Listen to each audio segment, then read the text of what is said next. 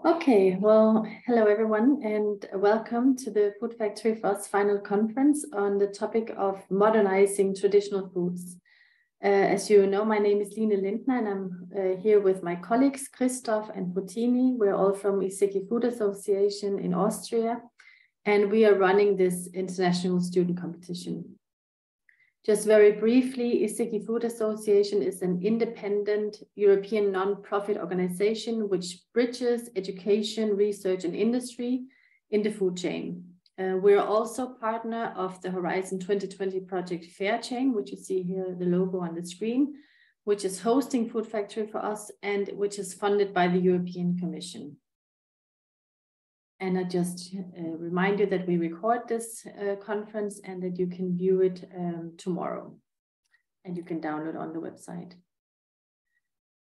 So just to give you a fact check of Food Factory for us. So we've been running several cycles since 2017 on various topics related to sustainability, uh, on topics such as enhancing shelf life of food, fighting food and energy losses, sustainable aquaculture, sustainable cereals, and food biodiversity. And Food Factory for us is for teams of master students uh, worldwide. The main objective of the competition is to encourage student teams to design solutions on the competition theme that's relevant to the food industry.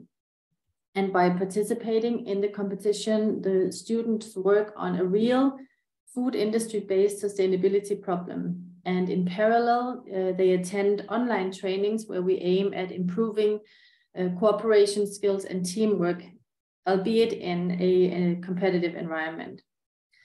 So um, in the background, we also have a board of academic and industry representatives who evaluate the team's projects reports and presentations and choose the winning team. So that means that the project evaluation is real. It's carried out by food industry and food associations with, uh, in collaboration with academics. And the advisory board is composed of Christophe Cotillon from Actia in France, Karin Östergren from RISE in Sweden, Christina Silva from Portuguese Catholic University in Portugal, Catherine Flynn from Iseki Food Association in Austria, Peter Ragaert from Pack4Food in Belgium, and Paola Pittia from the University of Teramo in Italy. So the competition is taking place in an online learning environment where we aim at fostering a participatory and learner-centered and action-oriented learning experience for the students. And throughout the competition, the students have participated in five online trainings where we try to foster the development of the so-called six core competences of observation, reflection, dialogue, visioning, participation, and facilitation. And these six core competences are believed to be essential for young professionals to be change makers and push the green shift. So for the last two and a half months, the student teams have been working on their projects, which we will be hearing in a few minutes in parallel with participating in these online learning activities. And last week, on the 5th of December, they submitted their project reports and presentations. And since then, the advisory board has been evaluating the project reports and the presentation slides. And now, during the presentations, the advisory board will also evaluate the method of delivery and the response to questions. And as this is a competition, there will also be a winner who will be found today after all presentations and after we have received the points from the advisory board. And the winning team will receive an award of 300 euros sponsored by Iseki Food Association. They will receive the participation and accommodation for three members of the winning team to participate at the Swedish Food Hack in Northern Sweden in the autumn of 2023. This prize is sponsored by RISE, that's the Research Institute, Institute of Sweden, and both Iseki Food Association and RISE are project partners in Fairchain. And of course, also the winning team will receive winner certificates. And finally, all team members will receive certificates of participation. But now we'll turn to this year's competition. And since the competition began in October, our 10 student teams have been working on finding solutions to modernizing traditional foods contributing to local food value chains. And we're really excited to hear about them in a few minutes. But before we start the presentations, I'll hand over to Christoph, who will tell us more about these fabulous teams and how this afternoon session is organized. Thank you, Leah. If you could, yes, perfect. So as you can see, we at least should have 10 teams with us today, but um, going through the participants list, it seems that unfortunately not everybody joined us today. But nevertheless, um, we are very pleased, or I'm very pleased to be able to say that we have teams from literally around the world. So I think nearly every continent is represented here. We have four teams from China, uh, Asia, sorry. We have the first team, Team Meimei, that is from China. We have uh, Nutrimento from Pakistan, Estate Crop Technology, UGM from India, and Team Fermi from Thailand. We have four teams from Europe, Portosauce, Algae Vision, and Team Healthy Octowater. They're all from Portugal. And to round it up, uh, Team Wrap Up from Slovenia.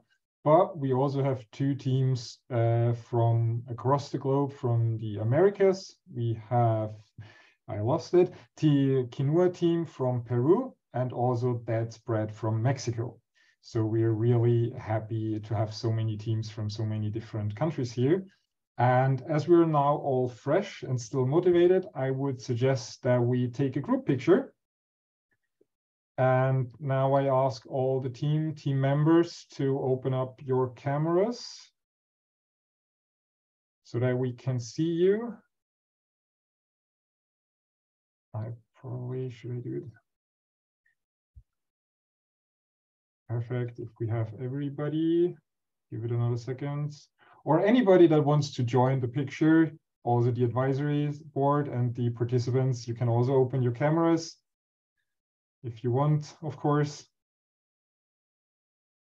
And I guess we don't. So say cheese, smile. Perfect. Oh no, Karen, you joined. A second. We have we take another picture. We want to have her as well here check that your hair is perfect, Michael. And smile. Perfect. Thank you very much. So I will share here. Just a second.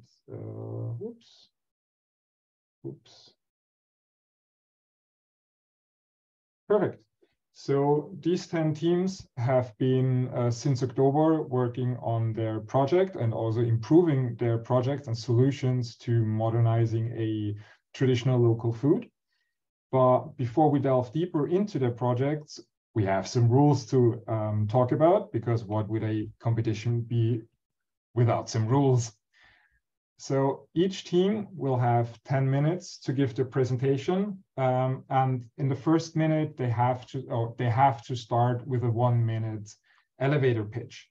And as already um, was mentioned, or I did mention it during the project review session, I will time the 10 minutes and I will be strict about it.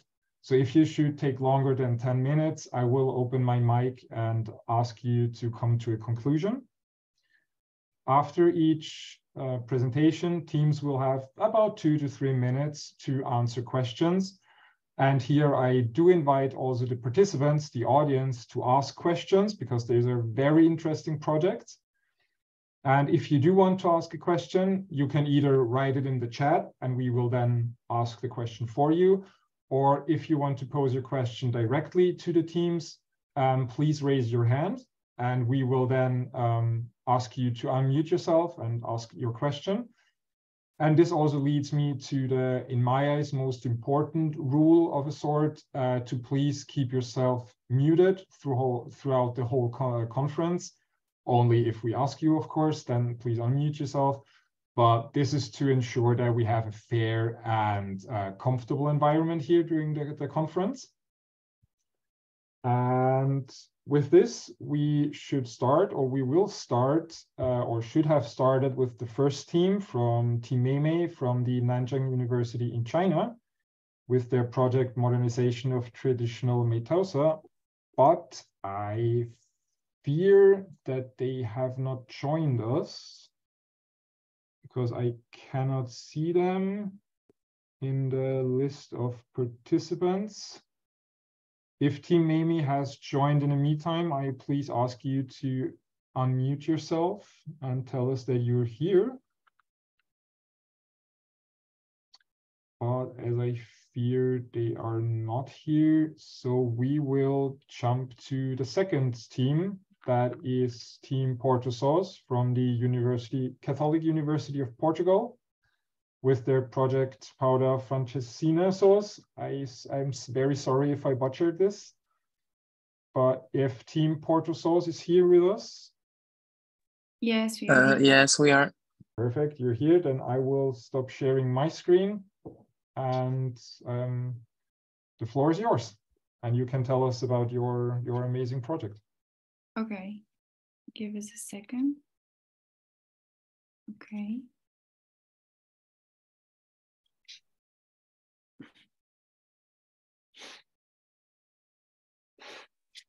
We can see your screen. We could saw your screen. okay, can't you see in full screen? We had it in full screen, but now it moved back to um, just a PowerPoint. Now can you see it? Perfect. Yes. Okay.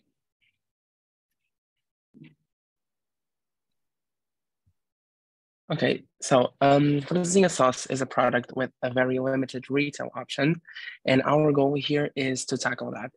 In Portugal, city of Porto, there is a very regional dish called francesinha. This specific dish uh, is made with bread and a combination of various meats, and is usually covered in a very particular sauce, which is called the francesinha sauce.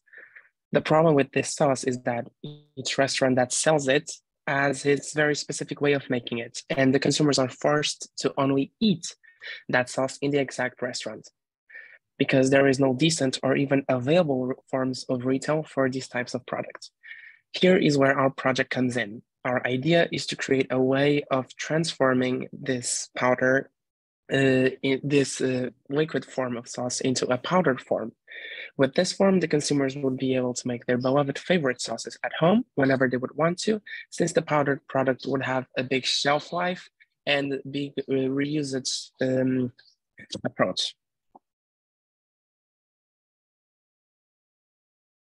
Good afternoon. Like Francisco said, me and my group, we are the Porto sauce creators, and today we are going to present to you the powder francesinha sauce. Uh, in conversation for a discipline that we have, Advanced Food Technologies, this competition was presented to us after, and after that specific moment, we all decided to start pitching some, some ideas for the modernization of original food. For that, we thought about the most famous food in Porto, which is francesinha. After that, we decided to see how this dish could be modernized. And for that, we needed to focus on what made this dish so special and so important and so adored by the Portuguese people. We concluded that the sauce is what makes the dish so special and so different comparing it to various restaurants that serve it. Uh, to move with this idea, we had to understand what the problem was attached to this dish. With that being said, we started to focus on the sauce that involved the francesinha. Each restaurant makes their specific sauce, and that's why exists, exists competition between brands uh, due to their unique sauce characteristics. Some people even try to make their own sauce at home, but the result never quite reached the ideal taste and the flavor that the restaurants give to their customers.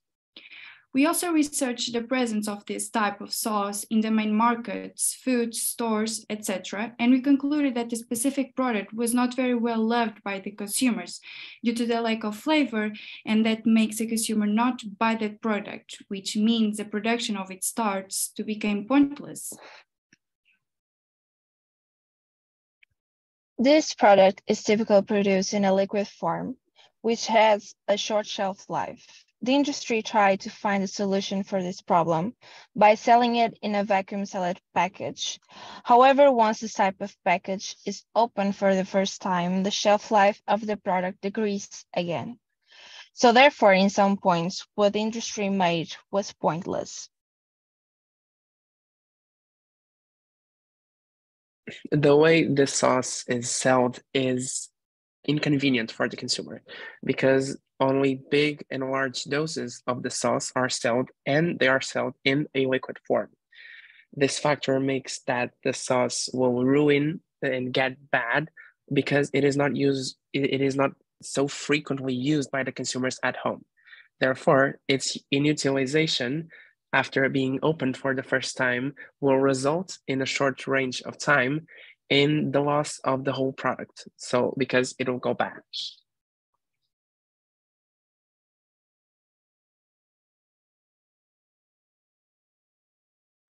Yeah. Sorry, sorry. I was mute. Um, after a very careful analyze and creation of protocol for the idea that we have, we will begin the contact with different restaurants, showing them our ideas and techniques.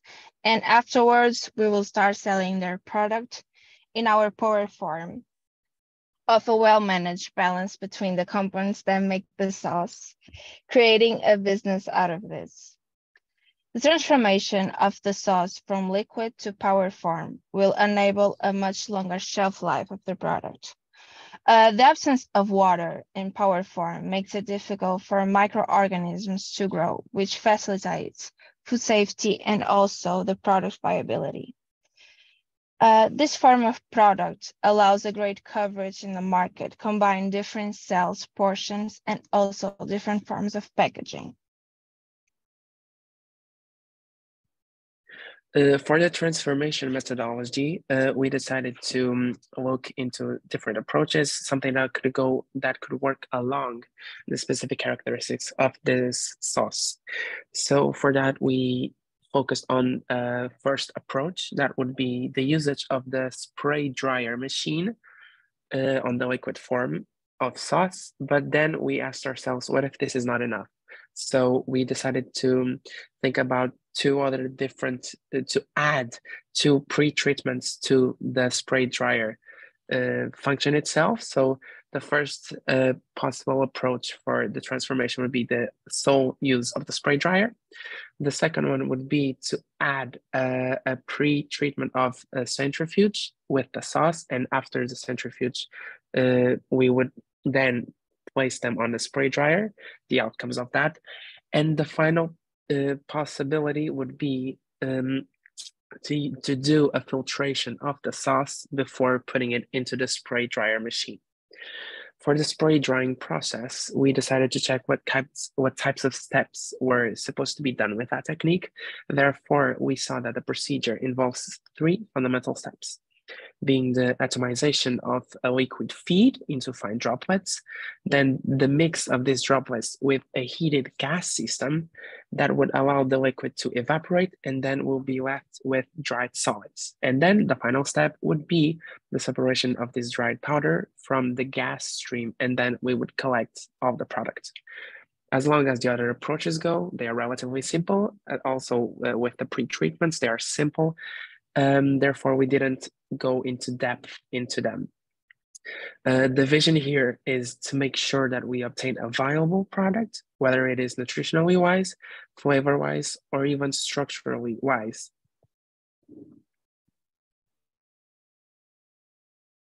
And with this, we leave you here some questions for you like what advice do you have for us? Do you see any flaws or anything not doable in our idea? And do you see your advice to choose another alternative to make this project? And with this we end our presentation. Thank you so much for listening. Any questions?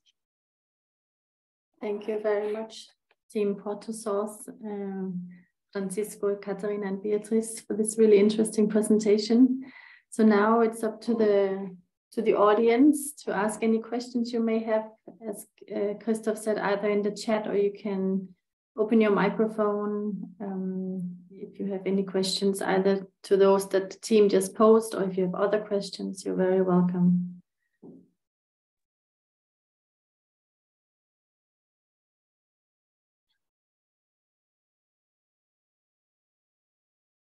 No? Okay. Um, I, I had a question and um, I was thinking in this process um, of turning the liquid sauce into a powder, um, is there a, a, waste product that comes out of this process? And if so, what, what kind of waste? Um, and do you know what would be the costs of disposing of this kind of, would it be like a landfill waste or what kind of waste would it be if there is any? Um, for the process itself, uh, what we how do I say this? So the what we want when we use the spray dryer, we the products that we are left with are the actual products because we are trying to uh, uh, solidify the so- the the the sauce. So the powder that we have will be the the product itself. Now regarding the gases that will be lost from the machine, so. Uh, the water and maybe and also the alcohol that is a part of the liquid sauce um, we then would just have to manage on the um, on the production and marketing of the sauce to say oh okay you have the powder then you just have to add water and a specific type of alcohol to mm-hmm. make the sauce plausible and with measurements and whatsoever but that's basically it we wouldn't have a lot of uh, excess compounds or something that would be lost. Now we would use everything. Okay, thank you. Um, I think we just have time for there are two more or some more questions. What what's the cost of this product? Do you have an estimate of the what the product uh, the powder would cost? Uh, well, or maybe in mm, comparison to the to the liquid to the sauce. Yeah, uh, I mean, approximately i think it would be approximately the same price range because usually the the sauces depending on where they're sold sold um they the prices can vary from depending on the quantity six to ten euros.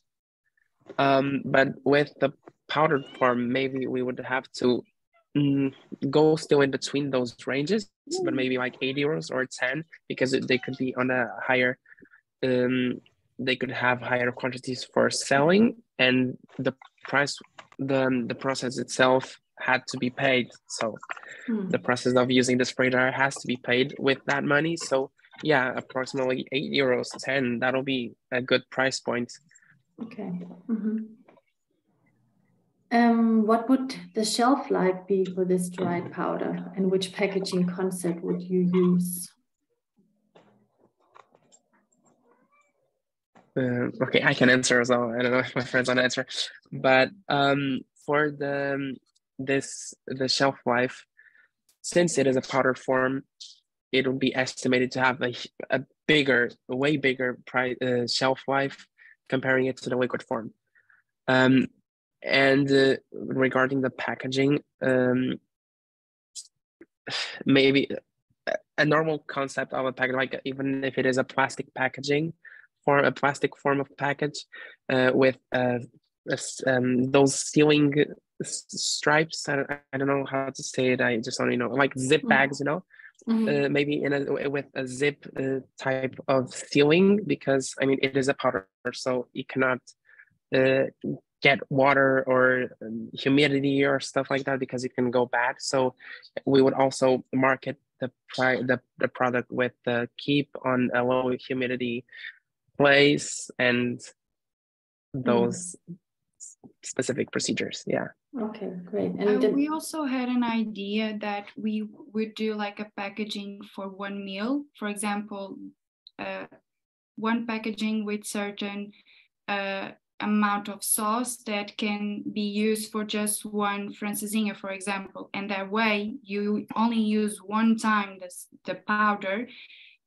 And yeah, for and we can put it question. yes and we can put it as well in a package uh, of three of them and the people can can then use it where wherever they want it mm-hmm. yeah okay um, I think we don't have time for the last question, but it's very interesting about consumer acceptance if you organize consumer tests comparing with traditional products. But I think we need to move on. Maybe you, if you can, you could answer okay. in, in the chat. Maybe okay. depending on the market, maybe mm-hmm. the the market of what we did. Okay.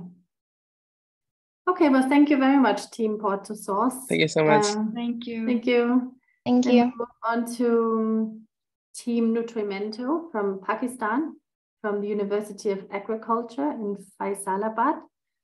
You're giving a, your presentation on the potential use of um, cereals with fruit formulation as functional instant mix through lactic acid bacteria fermentation. Please go ahead. Good evening. Uh, am I audible enough? Yes, we hear you. We don't see your presentation. Yeah, I'm just uh, sharing the screen. Okay.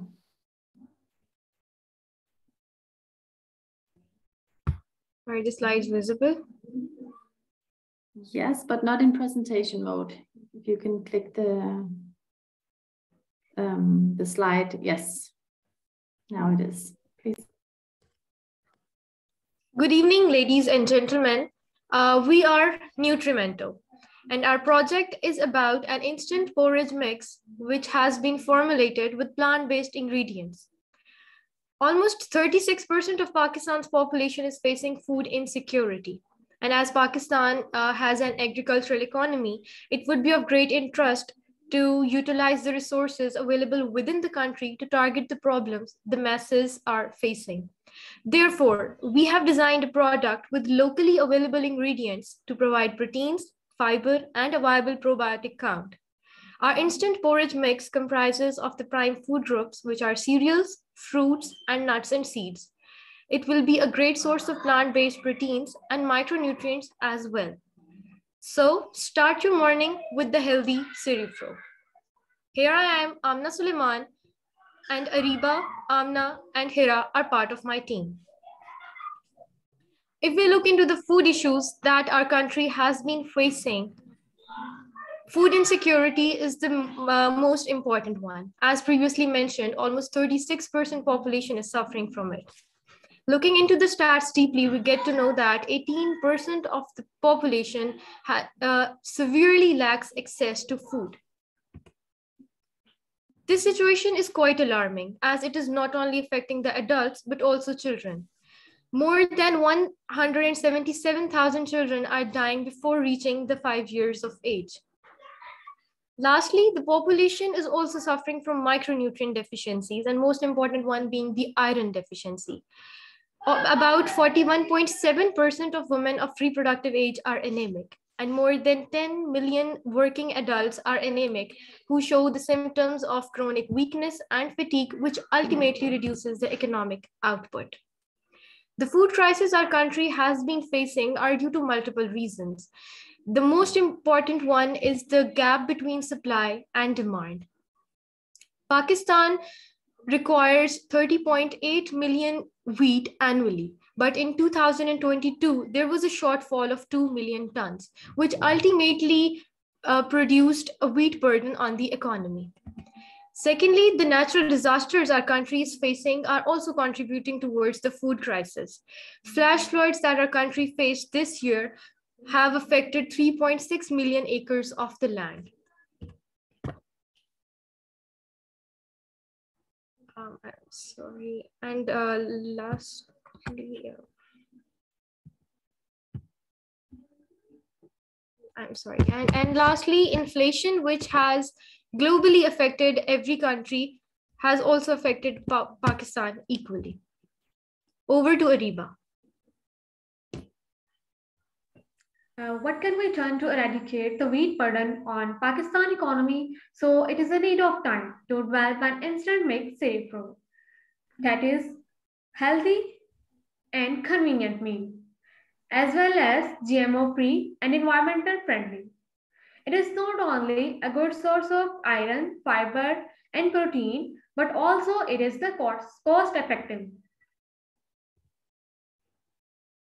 To target the above mentioned deficits, we are formulating our product with 40% quinoa, 20% red lentils, and 20% flax seeds. Two fruits are added. One is the banana, that is 10%, and the other one is date, that is also 10%. Quinoa and red lentil are specific for our protein essential amino acids that will target our gut health as well as prevent the heart issues. Next one is the flaxseed that is rich in omega-3 fatty acids suitable for our brain health. Banana is added for its potassium that is good for brain health. And the next one is the dates that is rich source of copper, selenium and magnesium. That is good for coagulation of blood. And then over to you, Amna. Okay. In order to explore the functionality of food ingredients in our instant porridge, the specific production process was designed. For the some, for the some important unit operations are focused in this to achieve the desired outcomes of our product. Among the most sustainable unit operations, there are procurement, roasting of grains, cleaning, washing, fermentation, and freeze drying. After passing through these steps, the ingredients are blended with previously mentioned formulation. Now, you guys might be thinking why we are utilizing cereals in larger proportion to overcome malnourishment as they also contain anti-nutritional compounds. To target the reduction with some other benefits, we are utilizing the potential of fermentation with the specific strain, that is Lactobacillus plantarum.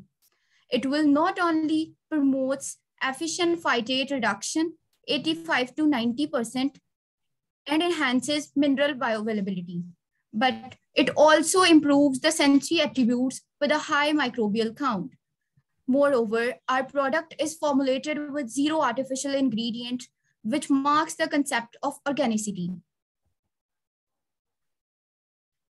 We all know risk detection and prevention is an important element of food safety systems. For a smooth flow, HACCP system has been implemented to reduce the risk of foodborne illness. Critical control points have been highlighted in the red. During raw material inspection, inclusion of any foreign body should be prohibited.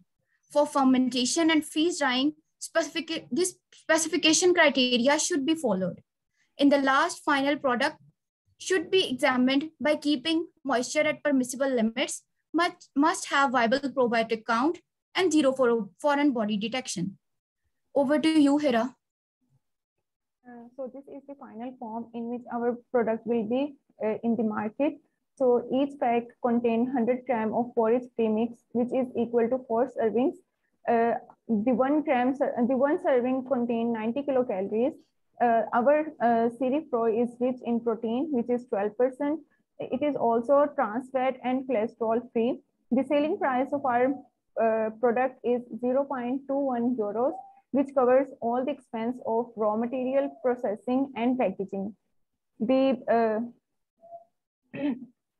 so what is the impact our product is creating? Our product is minimally cost and is rich in nutrients. Our population consumes wheat and rice as staple food. Therefore, formulating a product with the cereal-based food will diversify the diet of masses. Ultimately, it not only generates income for locals, but also boost our economy. This product will ultimately improve the economy from the grassroots level, generating new ideas and providing uh, jobs to the um, rural area, people of rural areas. So CeriPro is a solution to not only malnutrition, but also the food security, our food insecurity our country is facing. Thank you. Thank you very much, Team NutriMentor and Amina, Hira, Amna, and Ariba for this really very well done presentation and interesting project. Again, I open the floor to the audience for any questions um, that you have to Team Nutrimento and their instant cereal mix. You can ask your question in the chat, or you can also open your microphone. Hello. Uh, thank you for your work. It was uh, very interesting. I, I have a curiosity uh, if uh, you already developed the product because I saw the package uh, already with some marketing information.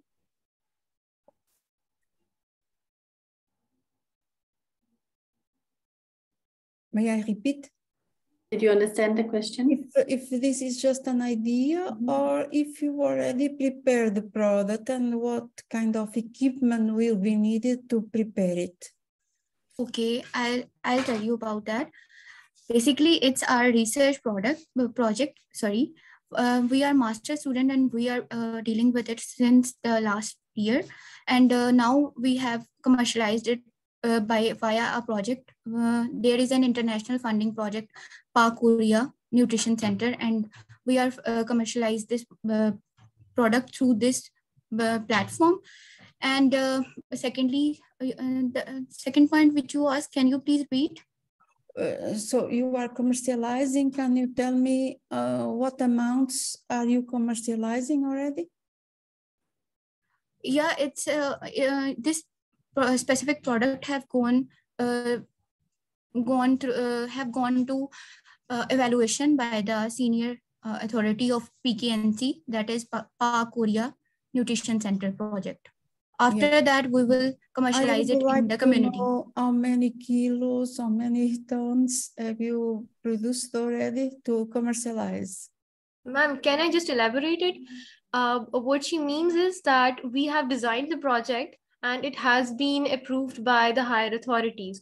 We have not yet commercialized it, but we have just finalized the packaging, the logo, and the nutritional information, mm -hmm. everything that will just go along with it. So uh, it's not yet in the market, but uh, it will be soon. Yeah, you, you know that to develop a product, it's also necessary to do the economic feasibility. Yes. Did you already do uh, study how much will you need to invest? What is the amount you plan to produce? uh, um, how to get the funds for that? I want to, to know at what stage your project is. Uh, that is why we have uh, mentioned the selling price of the project. That would be that is a tentative uh, price that we have calculated as per the uh, rates of ingredients, the processing cost, and the production cost as per. Uh, it is just uh, hypothetical as yet. Yes, of course. Yes, yeah, but, but how much will be the investment for preparing uh, how, how are you going to produce it are you going to use a factory that already exists or do you have to build it from zero um, yes. Uh, ma'am it is an idea. Uh, it could be sold to the industries as well so that uh, they uh, it would be then uh, their project and they would be working on it so that it could be carried out on the national scale on a larger scale for the masses ultimately. Okay but you don't have idea how much will be the costs of production and the costs of selling. We have uh, mentioned it in the uh, slides that the slides we have just mentioned the selling price uh, but previously yeah. we had mentioned what were the costs uh, we had to bear for the ingredients and what are the rates yes. of the ingredients available in the market as we have mentioned all of these ingredients are locally available mm -hmm. okay so it would not be that of an issue thank you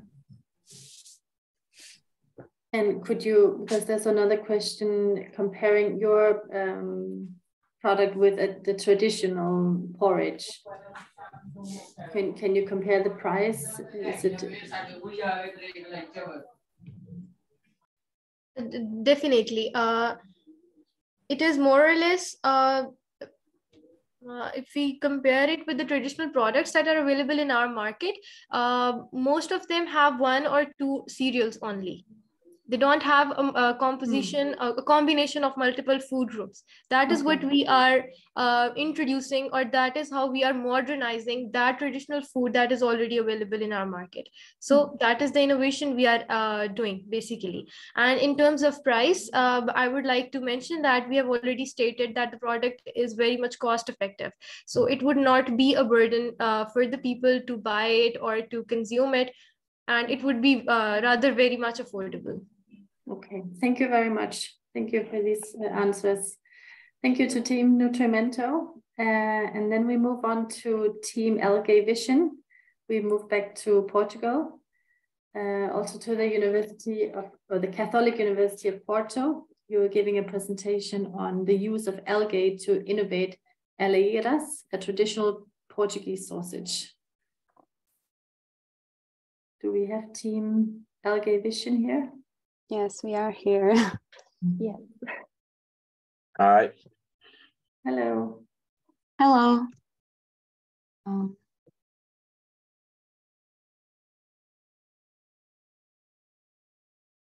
um.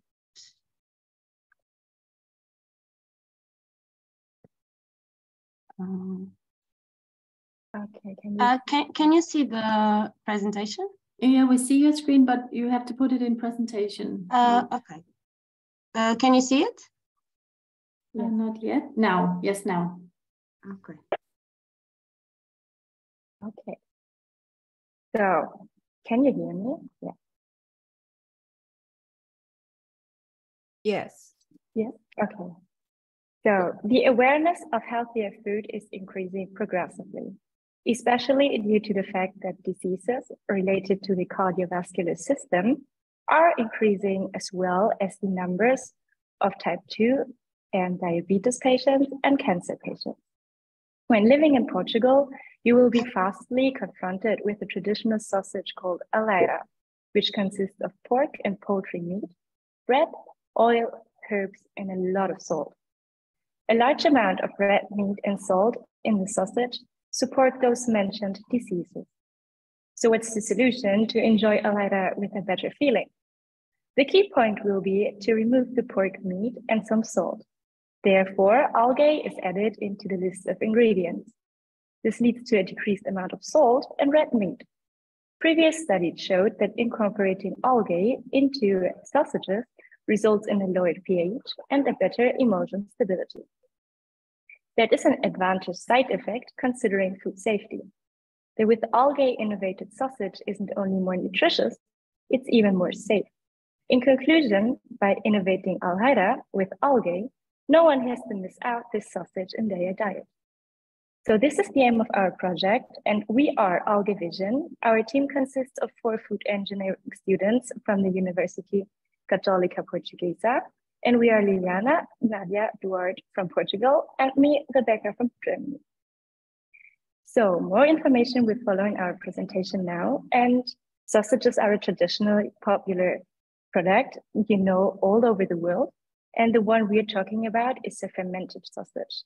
It's in a horse-hoe shape and it's produced, as mentioned, out of pork and other types of poultry meat, wheat bread, olive oil, and is mixed with garlic, spices, and salt.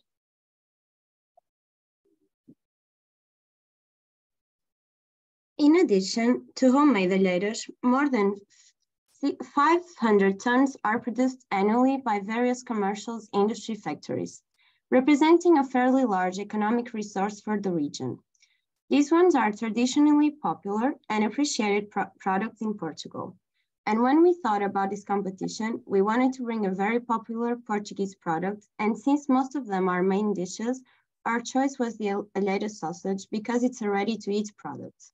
And this one is consumed in its original form or in the most diverse forms and incorporated in different recipes. The problem associated with these products is the, based on the excessive amount of salts between 1 and 1.9 grams per, per, per person.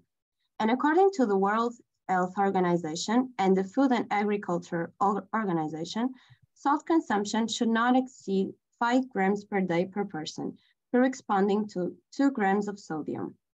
In addition, it is also important to mention the amount of red meats, namely pork, contained in these products, which makes up a large part of the product.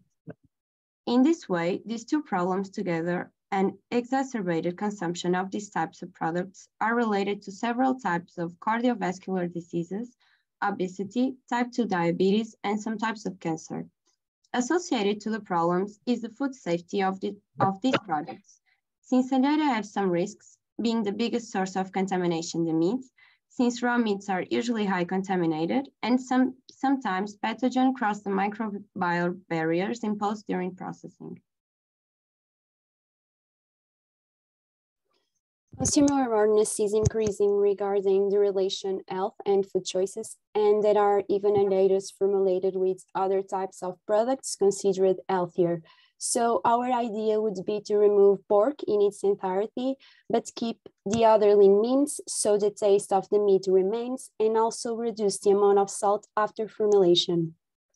But with these changes, in, in order not to risk of losing nutrients or deequilibrating the product, it will be part of the idea to incorporate algae in the formulation.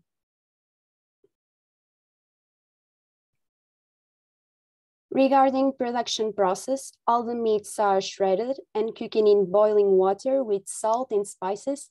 And then the bread in small pieces is added to the cooking broth. And when it is soft enough, it is mixed with the cooked meats, garlic, olive oil, spices, and more salt. When everything is mixed, the paste is inserted into cattle intestinal casings.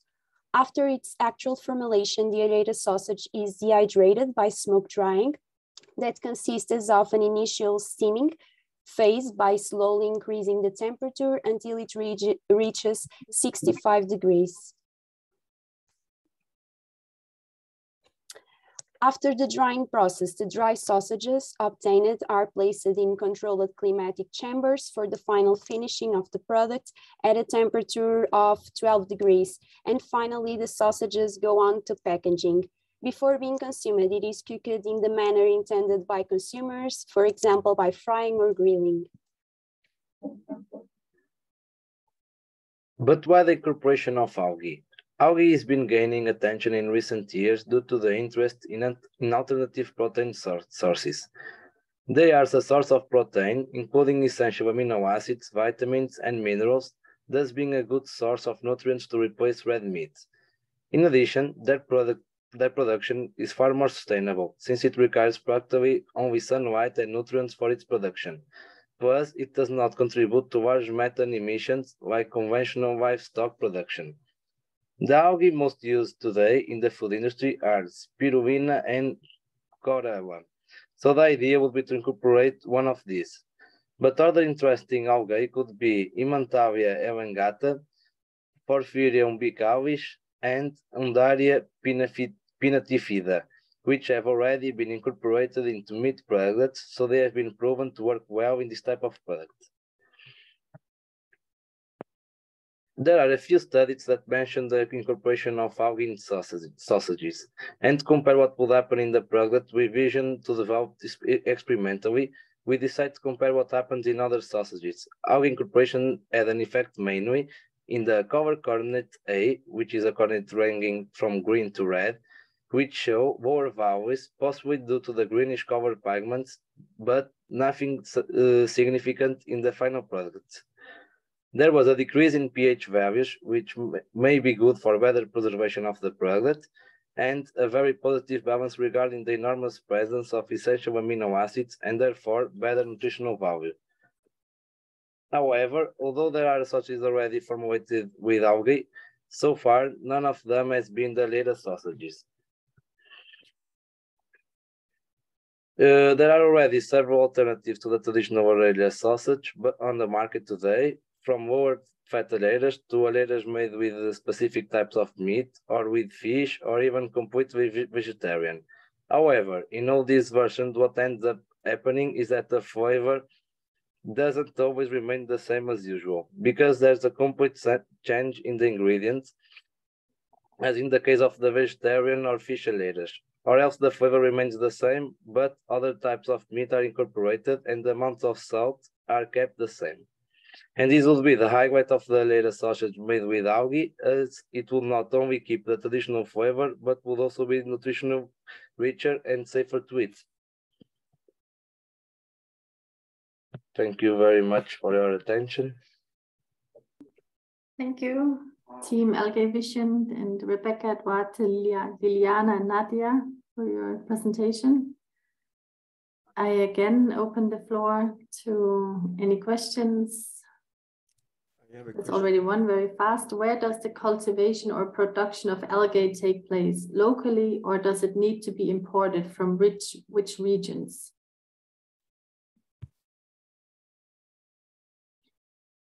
There's a specific region in Portugal where they are made. You, probably in, you don't know the place. It's called in, in the zone of Mirandela. That's a city here in Portugal, but it can be made wherever we want. Okay.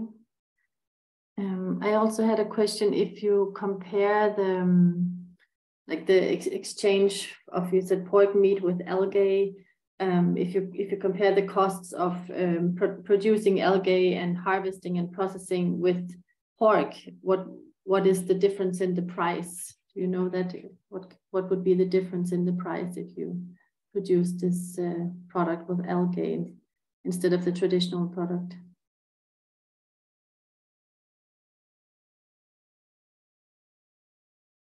I think that would, wouldn't be a problem. I think it's the product will, uh, will not be uh, the price will not uh, go high because of that. But I don't know. We haven't made any study about the price of uh, our algae of our data. Okay. And then there are several other questions. Um, from Karin, the algae added, is it fresh or dried? Um, the idea would be to experiment the two types to see how which one of these types will be better in terms of flavor. Okay. Mm -hmm. could I have a short follow-up question? Just if you dry, you need to be careful about the energy consumption and check the carbon footprints and compare with uh, the meat because it most likely it could be comparable.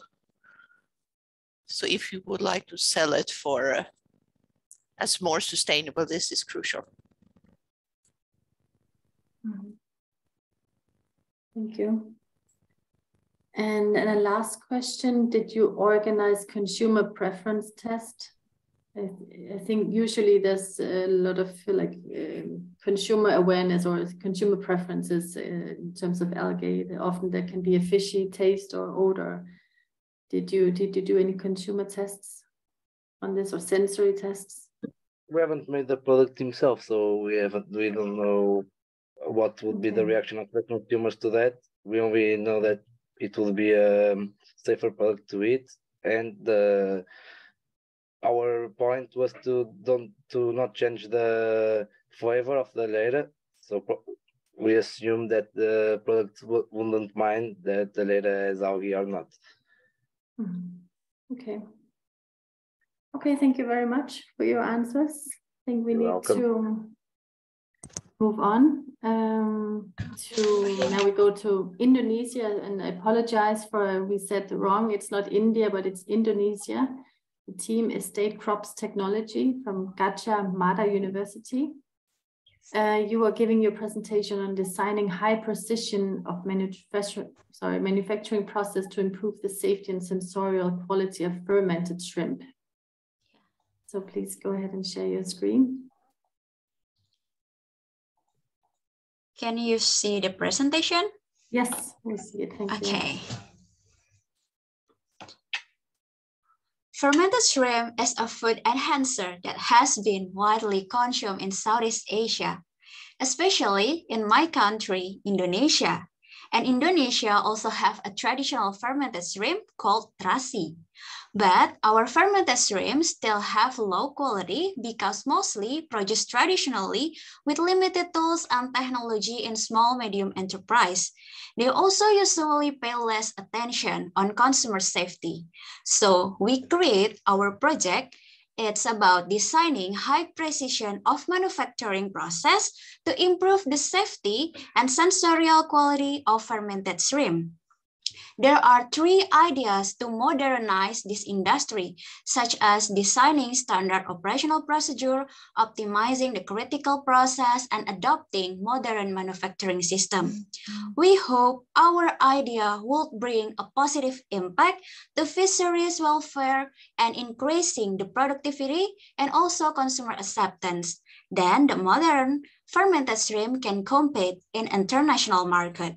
And here we are, Estate Crop Technology from Gadjah Mada University Indonesia, Intan, Dias, and Nurul, we delight to present you our project in this competition. And now I will explain to you the objective of our project.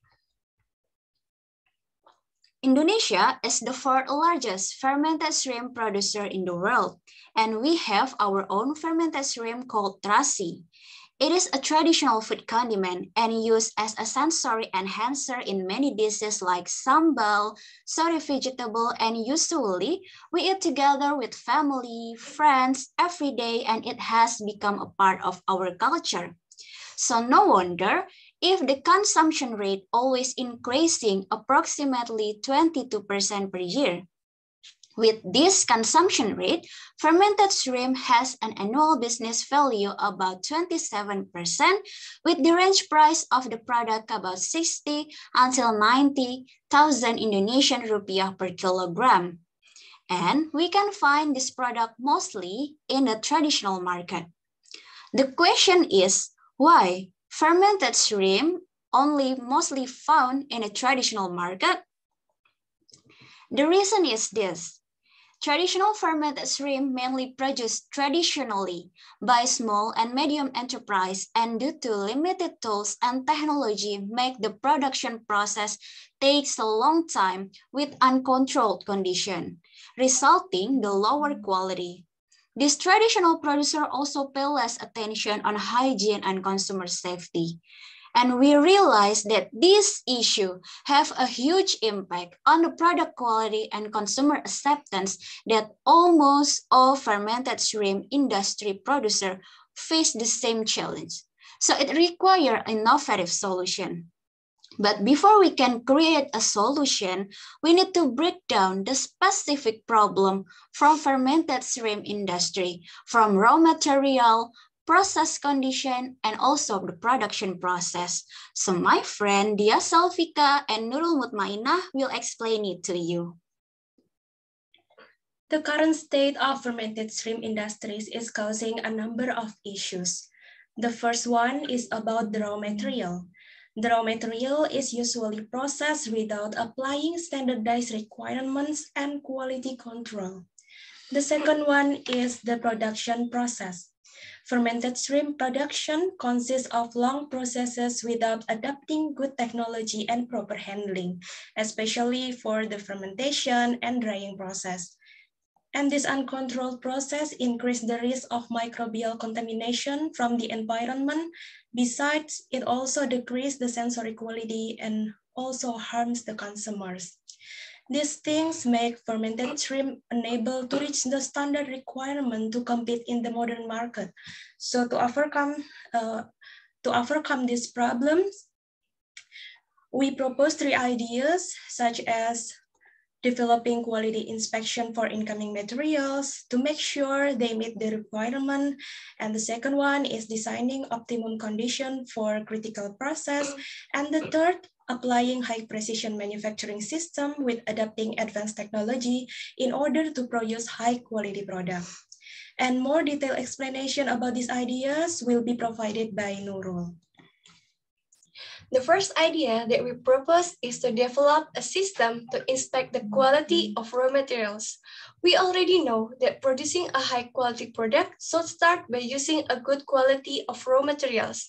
Shrimp as the main ingredient must be fresh and come from the good source with maximum 5% of contaminant.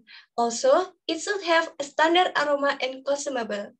And another ingredient is salt, which should meet the standard requirement. It must be contain natrium chloride minimum 94%, must contain jodium, and no metal contaminant. It is also necessary to build a storage space for the raw material utilizing low temperature to keep the freshness of shrimp for a long time. And from that, we already have the standardized raw material.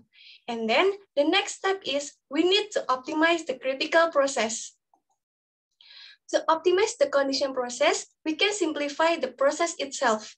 We can skip the milling and the second drying and combine the milling process with the salt mixing.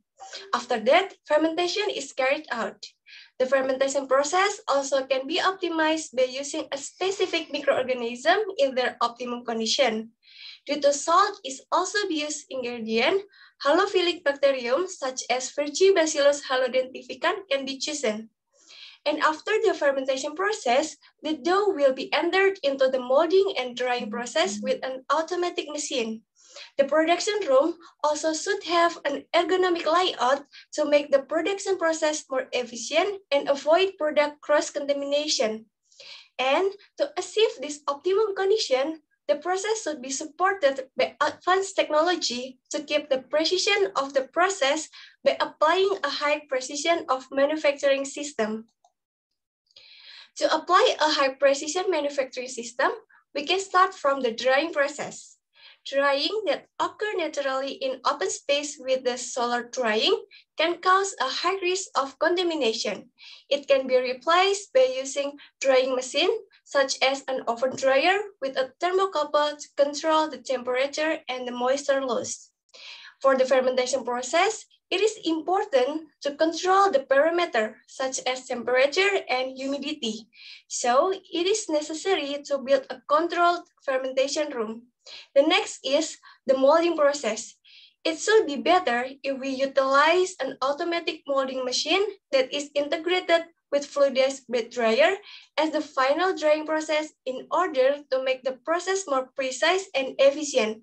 Also, it will reduce a physical contact between worker and the product. By considering those three ideas, we believe it will give a great impact on the precision and quality of the fermented shrimp. This proposed idea will transform the traditional process of fermented shrimp into the modern one high precision process resulting the consistent product quality. The optimized process also raised the productivity rate up to 50% and increased production capacity by eight times. It also improves product safety. Furthermore, the adoption of technology can also help to reduce environmental pollution. The process should be documented in the standard operating procedure so that production can be done consistently. And because the majority of Indonesian people consume fermented shrimp on their daily basis, hopefully this idea and innovation can bring a significant economic impact, not only for the industry, but also for the people and the country. And finally, we hope we can support the SDGs of United Nations, that is decent work and economic growth and responsible consumption and production. Let's join the fight to make this project into the real one.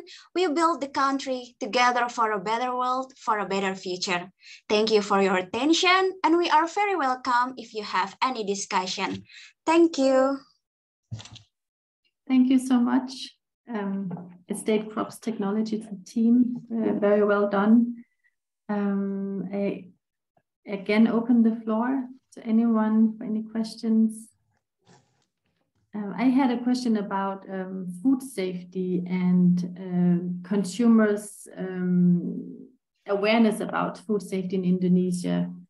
Can you tell us a little bit about if that's an issue, if there's a high or what kind of trust uh, do consumers have in industry in terms of food safety?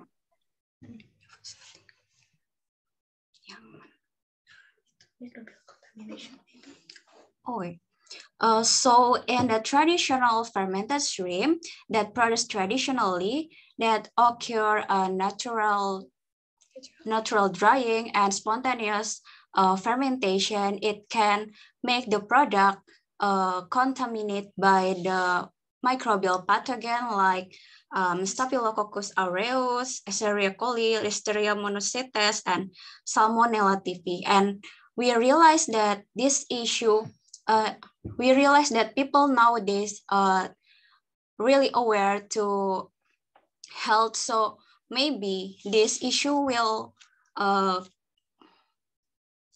make the traditional fermented shrimp can compete in the uh, in the international market or even just in the modern market. Mm -hmm. May I make you. a question, Lynn? Yes, please. So I uh, I have hello. Thank you for your work. I am uh, I have some questions related to the drying. I would like to know the size of the pieces of fermented shrimp that you are planning to dry? Because I saw the picture, but I don't know how much weight they, they have.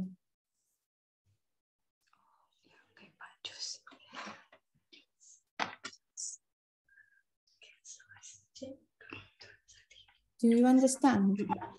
Yeah. Yes, uh, we understand. Uh, okay uh, on the drying process in the traditional uh, traditional drying, the size of the uh, fermented shrimp is about two centimeters. Yeah, but uh, I don't know the area. So can you give me an idea of the weight? Oh, the weight. Also, in the traditional fermented shrimp, the every uh, every small and medium enterprise, every producer have a different a different standard of the uh, fermented shrimp that they produce. So in this idea, we want to standardize it and to make it. In, in uh, what range? In what range? Five grams, 10, 10 grams? How many grams? Like a pea or like a... like like a block like uh, a block like maybe uh, three until four centimeter the thick of the block Yeah. So this I made this question because I think you have to be careful with the fluidized bed dryer because fluidized bed you can only dry small pieces. Otherwise, it's better to to use a force hair dryer. Should be small pieces. Otherwise, you cannot fluidize heavy samples. And from the picture you show, it looked to me that they are not really small pieces. So fluidized drying is used, for example, for peas, small pieces. Another thing is, since this project is for the sustainability, uh, as I understood uh, in your region, they are using uh, sun drying uh, and solar drying. So it's a, a, a way to, to dry also with hair and uh, it's not so expensive. So you use the solar, you may use some uh, motor to force the air, but it's uh, um, a, technique that you can also ensure the safety and uh, at the same time cheaper because to implement this in these producers, fluidized bed should be quite expensive equipment and solar dryer you can be built in uh, in regions where the weather is um, adequate for that. So this is just a suggestion. Yeah, thank you. Thank you. Thank you. Thank you. I think we have just time for one last question is about the feasibility for uh, local SMEs of optimizing or implementing this optimized fermentation process what is your opinion about if it's feasible for local SMEs and also connected also to the next question, considering that they are probably struggling with understanding food safety um, issues in their facilities. Could you just comment on that? Okay, in our opinion, uh, if traditional producer could use standardized procedure, uh, hygiene and control condition and use maybe standard packaging material, it is possible uh, to compete international market, but due to small and medium enterprise have limited tools and technology like of hygienity, also and standardized procedures. So we create uh, the design by simplify the process, cutting the drying time, uh, applying modern technology. Uh, it will um, it will reduce the production time about 15% and increase the productivity rate up to eight times and the cost production for the developing uh, fermented shrimp from the traditional into the modern world, it's about for the modern fermented shrimp, it's about 50,000 Indonesian rupiah per kilogram. Um, and while if the in traditional fermented shrimp, it's about 40,000 Indonesian rupiah. And in modern fermented shrimp has a higher production production cost, but uh, with a better quality with a better quality, we can sell a modern fermented shrimp with higher cost and of course, uh, developing modern industry will spend more investment cost, but investment cost at the beginning, but uh, it will give a more profit for us in the long term. And with the increasing productivity rate, the industry will absorb more raw material shrimp as a raw material from the fisheries and it will enhance the fishery uh, welfare. Mm-hmm. Okay, great. Thank you very much for your presentation and your answers. Um, Thank you. I think also your last question was part, or last answer was partly an answer to the last question. So thank you very much. Um, thank you. Then we'll, thank you. Then we'll move on. Again, we go back to Portugal to Team Healthy Octopoda. Uh, you will give a presentation on optimization of canned octopus with tomato sauce. So you can. Hi, good afternoon. Hello.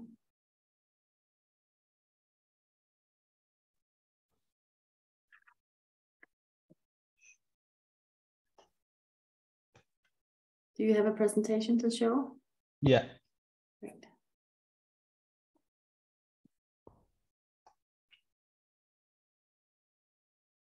Can you see? Yes.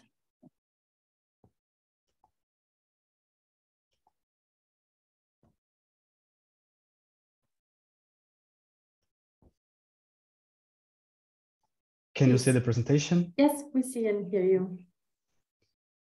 Uh, well, currently there is a need to improve the nutritional quality of food uh, products on the market and to manage the waste uh, generated in the food industry. So the question is, how can we respond to those needs?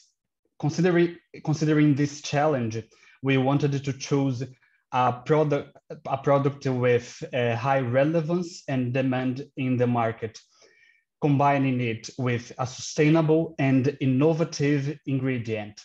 This way, we developed that project Healthy Octopoda, optimization of canned octopus with tomato sauce. Well, our team has three members, me, Alex Lima, and my two colleagues, João Almeida and Ana Mota.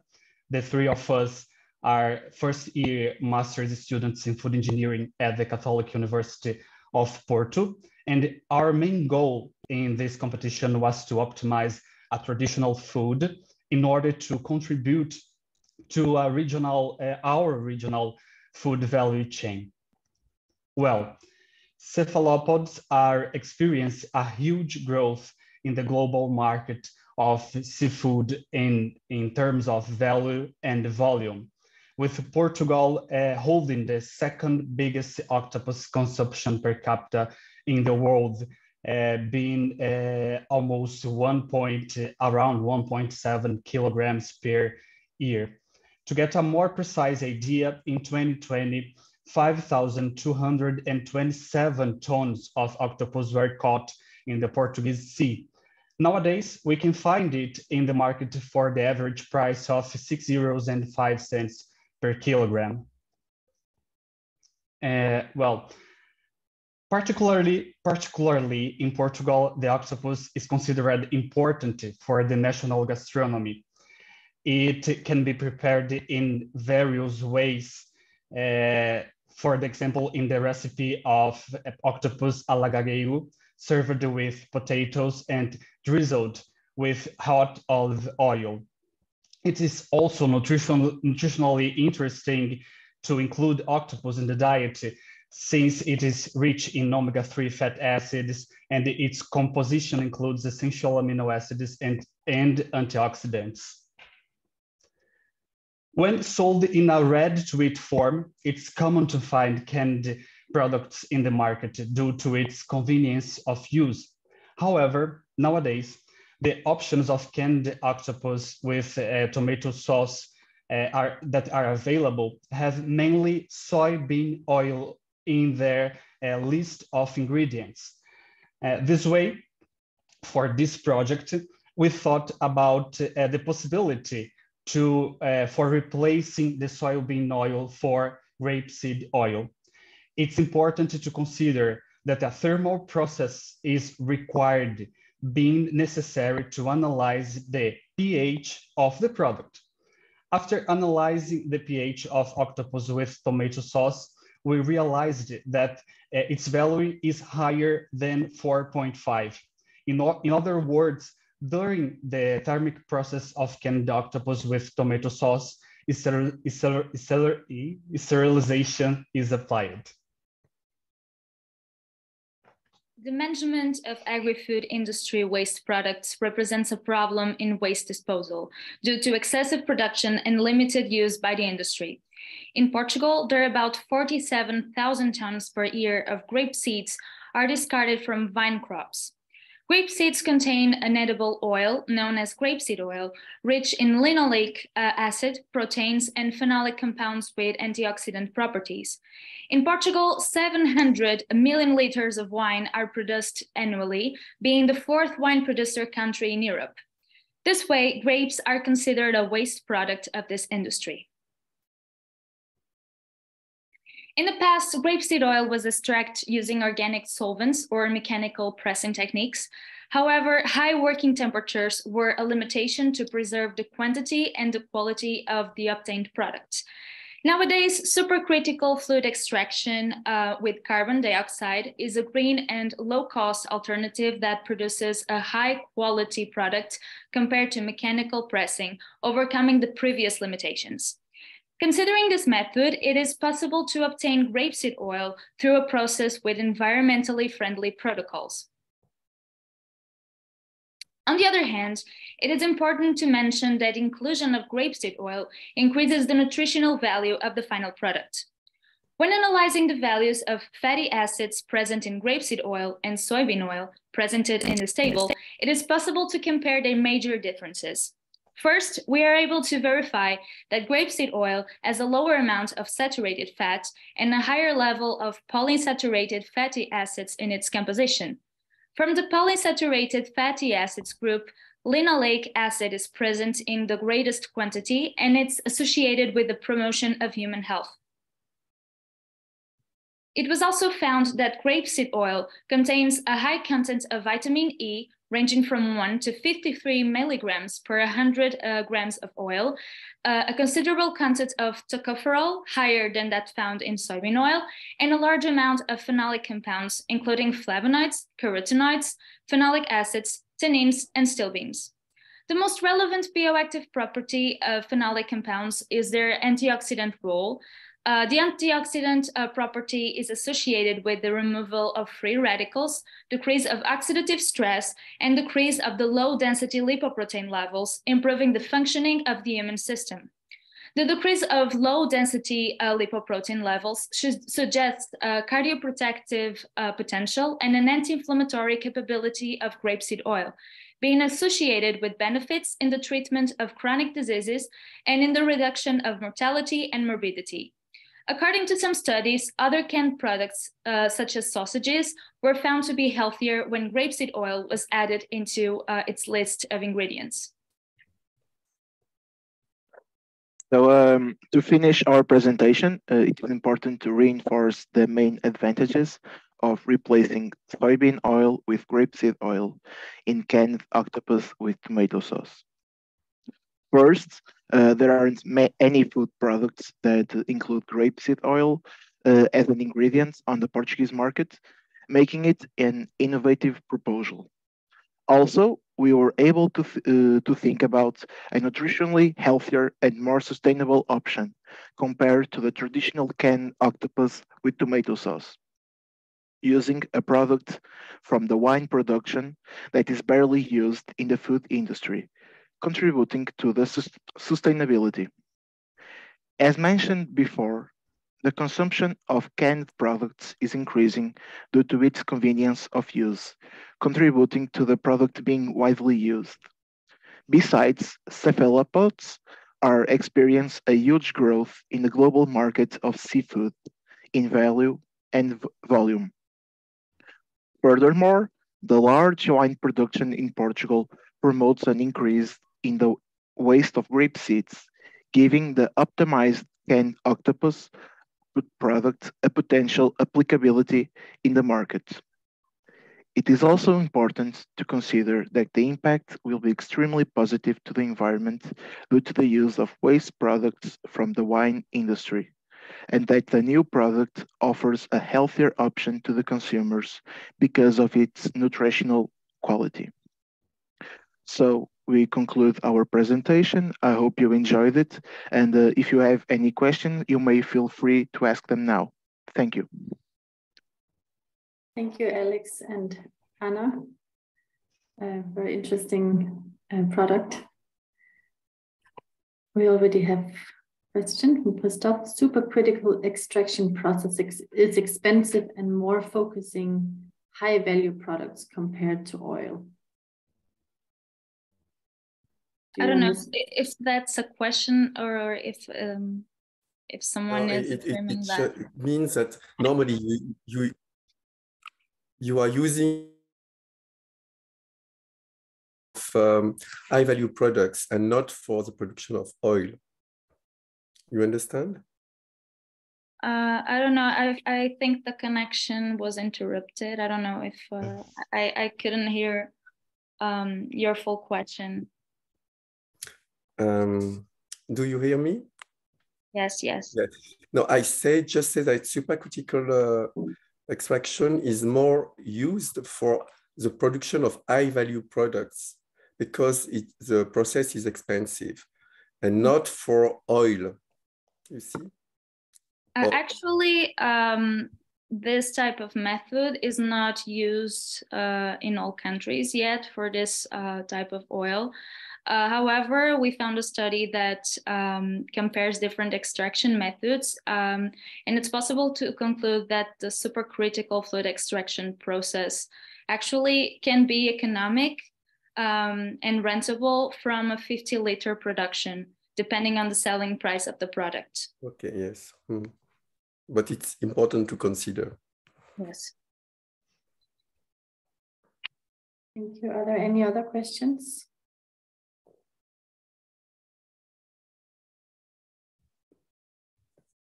I don't think so. So thank you very much. Thank and you. Thank you. We'll Thank move you. on. Uh, I hope you're still awake in Thailand. it's, uh, it's very late. I think um, the next team is uh, Team Vermi from Chulalongkorn University, I think in Bangkok. You're giving a presentation on modernizing DADI through a comprehensive standard plan. So please go ahead.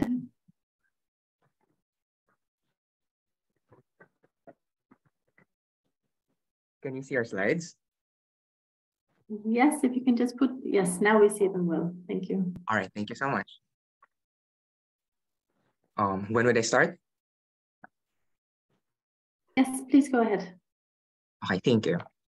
Dadi is a traditional fermented milk product in Indonesia, which has existed for centuries. Despite the lack of pasteurization, it never had a report of food poisoning and product failure. So considering worldwide standards, we identified three main problems. First, lack of scientific understanding on the full microbiology of Dadi. Second, low awareness of product among the people due to low marketing and lack of information dissemination. And third, there are no standards related to training and production. Our team hopes to solve these problems by first, applying GMPs, by using these GMPs and OMIC technology. Second, incorporation of SME programs and social media. And third, cooperation with higher educational institutions and government agencies. We desire that this project will lead to increased consumer confidence and trust, bringing to a surge in consumption. It would also preserve culture and create stability in regional cooperation. Lastly, it would enhance the economy and create resilient local industries. This is modernizing Dadi through a comprehensive standard plan, and this is our project presentation. Did you know only 0.19% of Indonesians know about Dadi, and only 0.1% of them have tasted it? Almost none of non-Indonesians know about Dadi. So this data confirm that Dadi is still significantly unknown in Indonesia the world.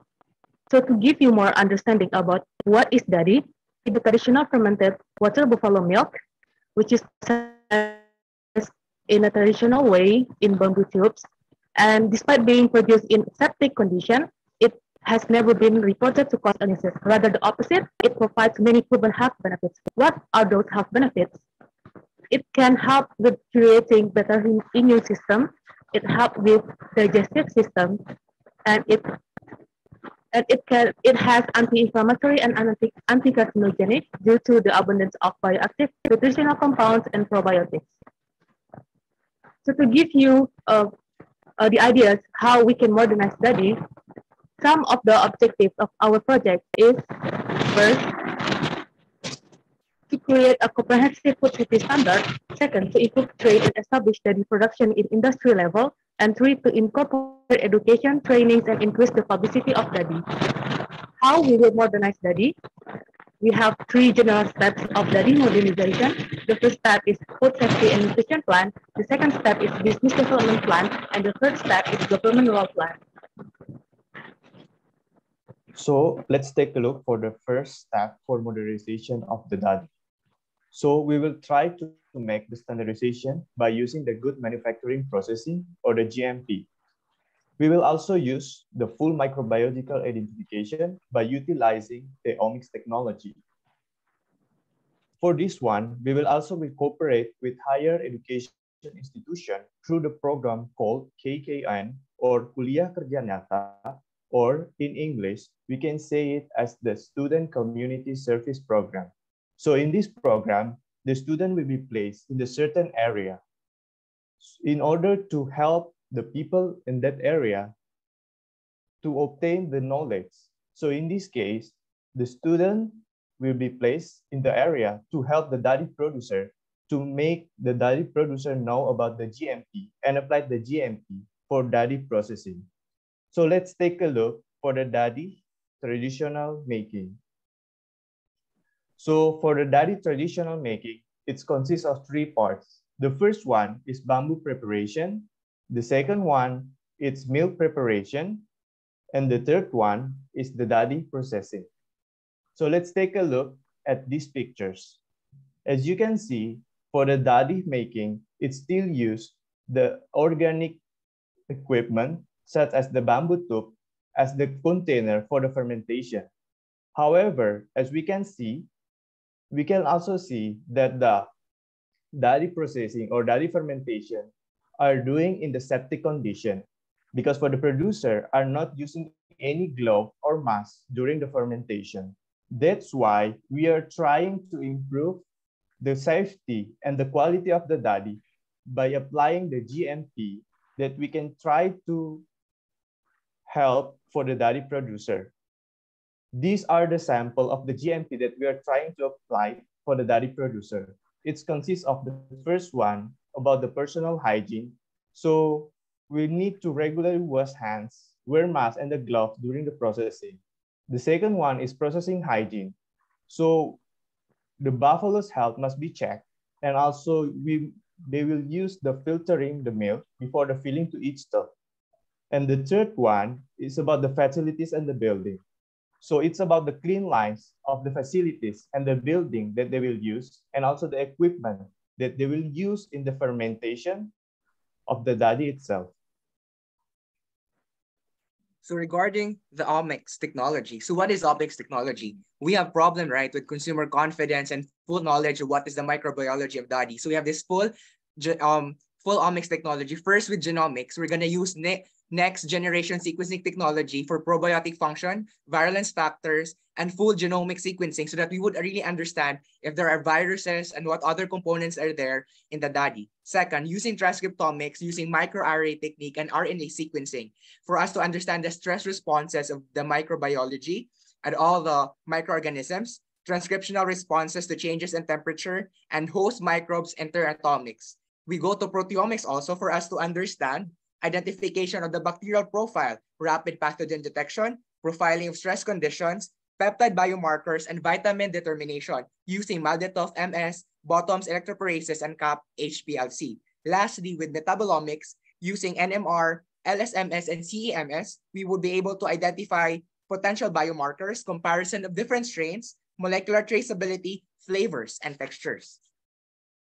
So with this in hand, we can see in the picture that using the omics technology will help I understand microbiota in probiotics and host modulation. In the dairy, we will identify how fast the fermentation would happen. We could actually like accelerate it by understanding the acidification speed, proto-cooperation of uh, texture and development, and lastly, selecting probiotic strain specific health targets.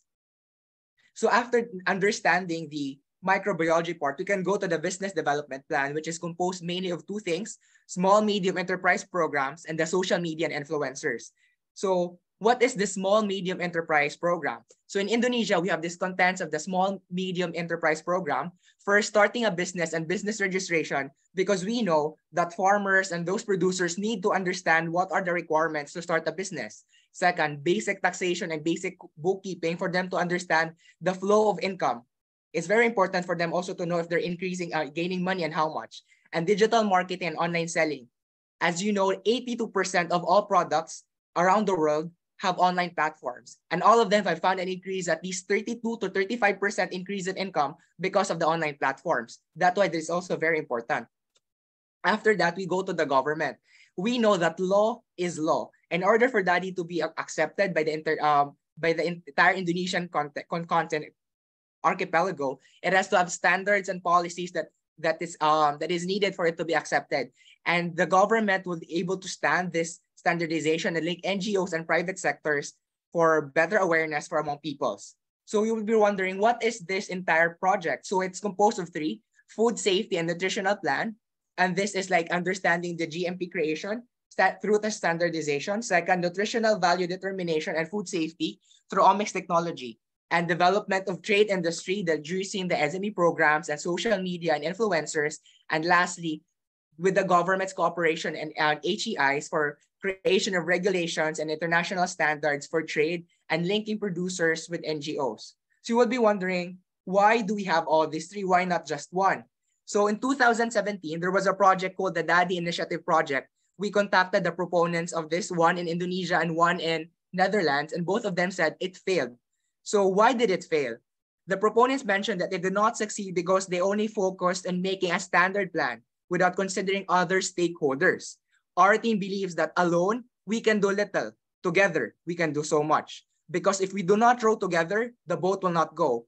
So if the HEI and producers will not work, the GMP standardization, there will be no progress. If the HEIs will not research more on food safety and microbiology, consumers will not have confidence and trust and international standards will not be made, especially in Indonesia. If business plan will not be considered, it might end up in bankruptcy. And without social media, which is a great tool for information dissemination, DADI would remain unknown. There is immense power when a group of people with similar interests work together towards the same goal. And just like all members of one body work together, we can establish a framework of agreements among stakeholders for a stimulated Indonesia that does not forget its members and its culture. And this is our presentation. Thank you very much. Partial list of references. Thank you. Thank you so much, Team Fermi, Michael, Aziza, and Edward for this really interesting, enthusiastic presentation. Um, are there any questions? Does anyone have any questions? Maybe yes. I can make a question. Um, this is a product based on uh, milk of buffalo, right? Yes, ma'am. Uh, I my uh, curiosity is um, if there are a lot of buffalo in Indonesia, if it's if you have a high production of milk from buffalo, because here in this region of the the world there is not no buffalo.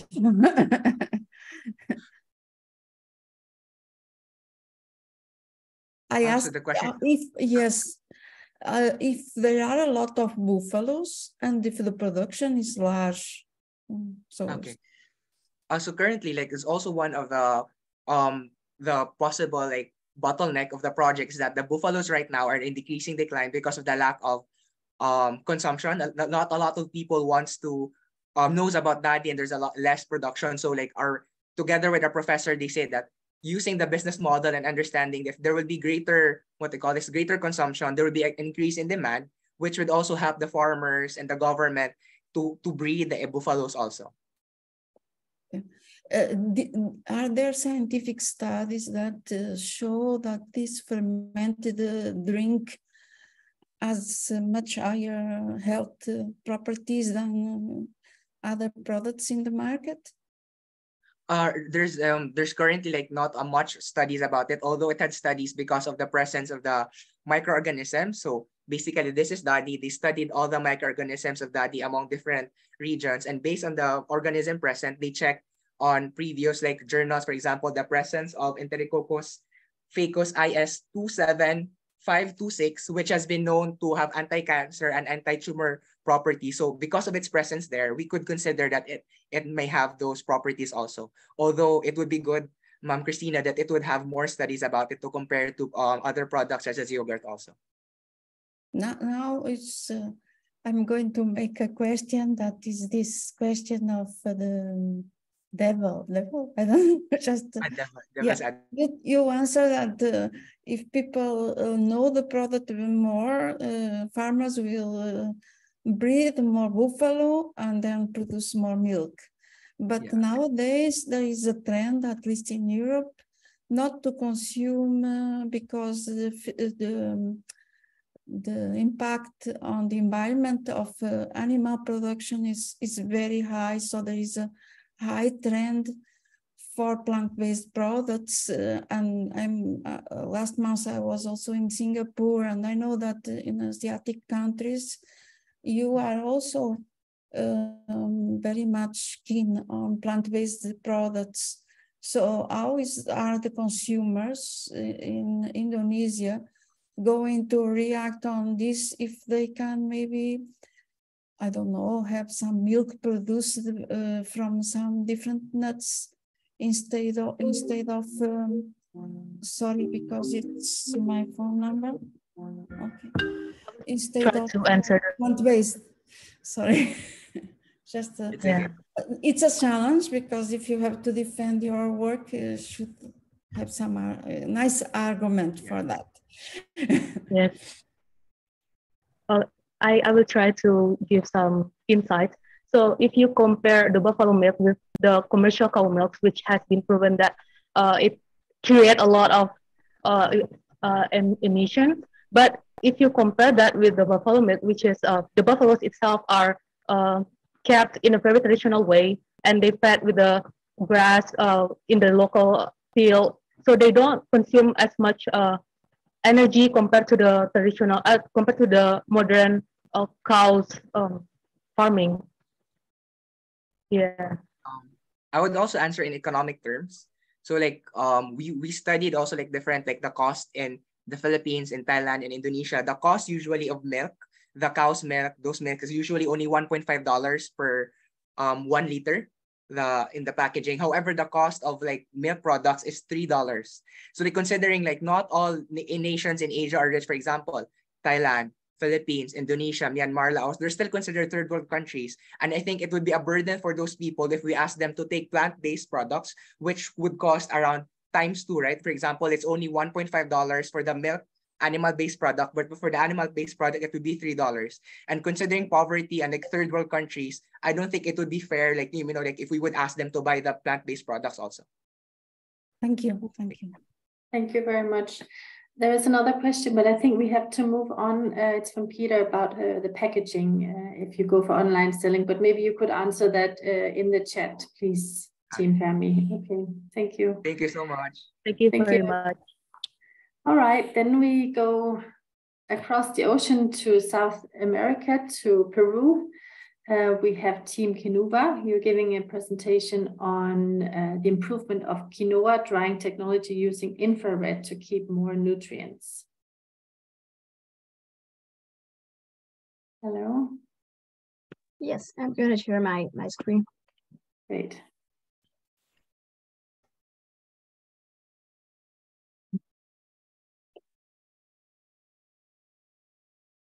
Yes. Um, can Thank you, see my presentation? Yes, we see it. Okay. So I'm going to start. Did you know that quinoa is a Peruvian superfood that contains all essential amino acids, vitamins, minerals, and bioactive compounds with high antioxidant capacity? However, most of its production is developed by small farmers who lack technological knowledge and also organization. In this way, in solar drying, inadequate processing causes uh, the loss of 30% of its value due to contamination and prolonged environmental exposure. And convection drying also represents a high energy consumption and the reduction of bioactive compounds. We are quinoa team, and our proposal is to use infrared radiation as a drying alternative to obtain a safe quinoa with better nutritional values and a greater profitability. With this technology, it is possible to obtain a fast and uniform heating, 38% less energy consumption than conventional drying, and preserve 90% of bioactive compounds. In this way, we modernize quinoa processing techniques, optimizing performance and nutritional qualities to apply it to the food industry. We are the quinoa team from Peru, made up of Pia, Paola, and myself, Juanita Flor. Our proposal for the modernization of a traditional food is improvement of quinoa drying technology using infrared to preserve more nutrients. Quinoa is a safe superfood with multiple nutritional benefits, mainly antioxidant compounds, highlighting its Pasankalla variety. Our project seeks to make these nutritional attributes reduce energy consumption with the least economic expense through the use of infrared drying to positively influence the quinoa value chain. As part of the production process, the quinoa goes through continued washing in order to eliminate saponin. Inadequate and absolutely traditional agricultural techniques reveal inefficient, inefficient productive and economic in this, affecting the final price, which in nine years has been reduced by 93%, affected profitability. In this production, Eh, then the solar drying occurs where it's not possible to control the temperature due to unpredictable weather conditions and the problem exposure time are the losses of nutrients. There is a high risk of contamination with finding impurities being prone to contamination by, by mycotoxigenic fungi, which can lead to either acute or chronic poison. In convection, in convection drying, the risk of contamination is reduced, but its main disadvantage is that the quinoa is yielded superficiality and is not enough to eliminate the water. This makes the process more expensive and generates nutrients losses, which reduce competitiveness. Infrared, a feasible and sustainable solution that contributes to development of the product of the production chain is the modernization of far infrared drying. This being an innovative drying uh, method to counteract this difficult where energy penetrates a material at a small depth and is then turned to into heat, thus allowing to preserve the aroma, color, and nutrients. The simplicity of the equipment allows to optimize the farmer process, facilitating its commercialization. Infrared. In our preliminary study, this technology was used at uh, 60 Celsius degrees in three quinoa variety, Pasankalla, Huancayo, and Huaylas, in order to make a comparison with the traditional convection method. Infrared drying technology, unlike traditional drying, has the following advantages, short drying time with high energy efficient, easy and uniform heating of the material, and good quality of the final product. So the test of bioactive compounds uh, using both drying techniques show that infrared is better preserve these components, both in phenolic compounds with EPC and in antioxidant capacity, ABTS, as we can see in table two. And also in both cases, the, the Pasankalla variety, this one, it was uh, the one that maintained the best values. So During drying, structural modifications occur, such as the rupture of the cell wall of the food, which facilitates the release of phenolic compounds. These occur both in solar and in convection drying. And in addition to the reduction of phenolic acids and antioxidant uh, activity. While in infrared uh, radiation drying, Bayer maintains these components without significant losses. Uh, as we can see in this graph, the results obtained in the study reflected the, the, the significant difference in terms of content of phenolic compounds. It is demonstrating that the technology is superior to convection drying in terms of conservation of the bioactive compounds. Also, if we can see here in the second graph, significant difference were observed in terms of this time antioxidant capacity, being uh, the Pasankalla variety, the one that preserved the highest value in both drying methods. This shows that the variety, that this variety has greater resistance, adaptability, and advantages in terms in, in terms of bioactive compounds. So, innovation, potential applicability, and impact. Traditional drying techniques have already mentioned limitations. Both the literature and our results showed a higher concentration of phenolic a compound in infrared dry compared to other technologies. This being a potential application because in addition to reduce the risk of contamination, more stable, homogeneous product with better nutritional values are obtained, positively impacting and the consumer. With this technology, processing is improved, commercial intermediaries are reduced, thus generating greater competitiveness. This true technical uh, training that will strengthen the productive process, strengthening uh, the identity of farmers, thus promoting the commitment, participation, and inclusion of communities, favoring their productive chain and promoting food security with sovereignty. strategic uh, obje objective uh, of the project, both in solar and convective drying, is nutritional quality is affected, with emphasis on the loss of bio, bio, bioactive compounds. Uh, the, technolo the technological modernization of drying by infrared radiation is then proposed, being a fast, uniform drying without risk of contamination which the conservation of the nutraceutical characteristics, which has a lower energy consumption and reduced environmental impact, improving its production cost. According to the references and the results, infrared drying requires less exposure time, like what it had a convection of the 16 kilowatt hours, while infrared drying of 9.9 kilowatt hours, which represented a 38% energy saving and therefore economic. And I some cases reaching eh, a 50%. Eh, the current global agri-food system requires the modernization of food seeking to enhance its nutraceutical nature.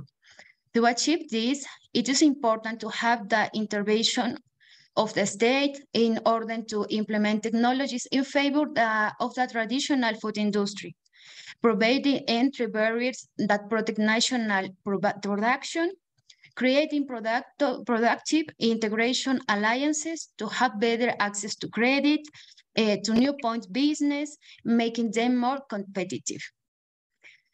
This was our presentation. Uh, if you have any questions, we are here.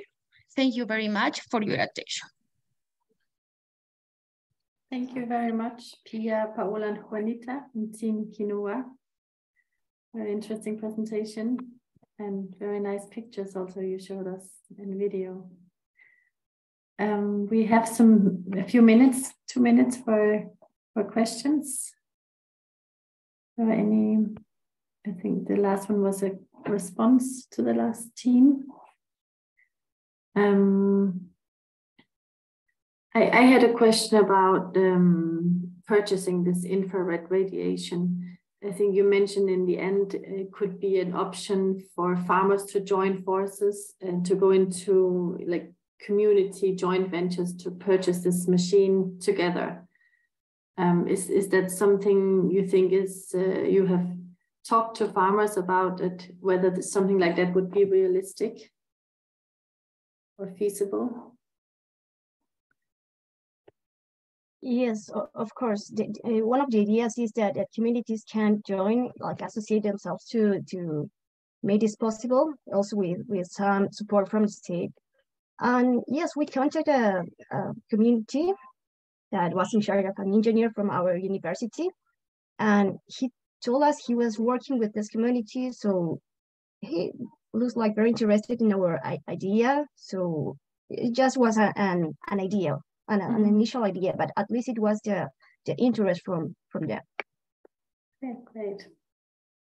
That's good to hear. Are there any other questions? Anyone who wants to ask something? Okay, it doesn't seem like it. Okay, well, thank you so much to the three of you. Um, thank you. Thank you.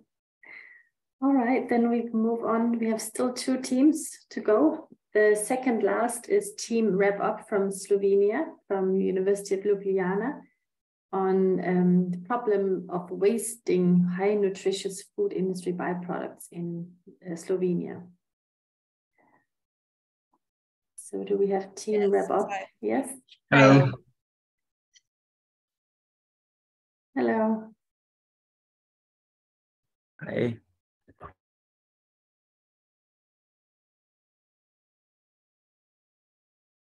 Does anyone of you want to share presentation? Yeah, I think that Gasper should, but he froze, I think. okay. yeah, it looks like it. Just a second. If not, I can. Oh, okay. He's here. Okay.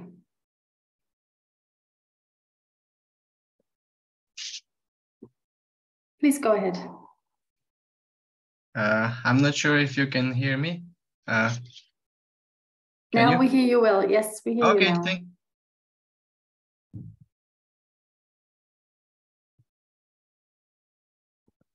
we said we hear him. It was too early. Yeah. I think he has a problems with connection. Yeah, probably, yeah. Can you take over, Eva, or you want uh, to be? I mean, he has he is starting with elevator elevator pitch, but I can go ahead with the presentation. But he has to click it, you know. Ah, okay. Oh, okay. He's sharing the screen. Wait. Or do you you think we should take the next team and we come Maybe, back to you? yeah, yeah, yeah, and we'll come back. Yeah. Okay, so then we take team Dead Spread from Mexico. Are you here? Hello. Hello. Uh, sorry, I had a problem with my connection. Oh. So you do want to try again or? Uh, Eva, could you share the presentation? Yep, just a second. I have to find it. Okay. Okay, that should go. Uh,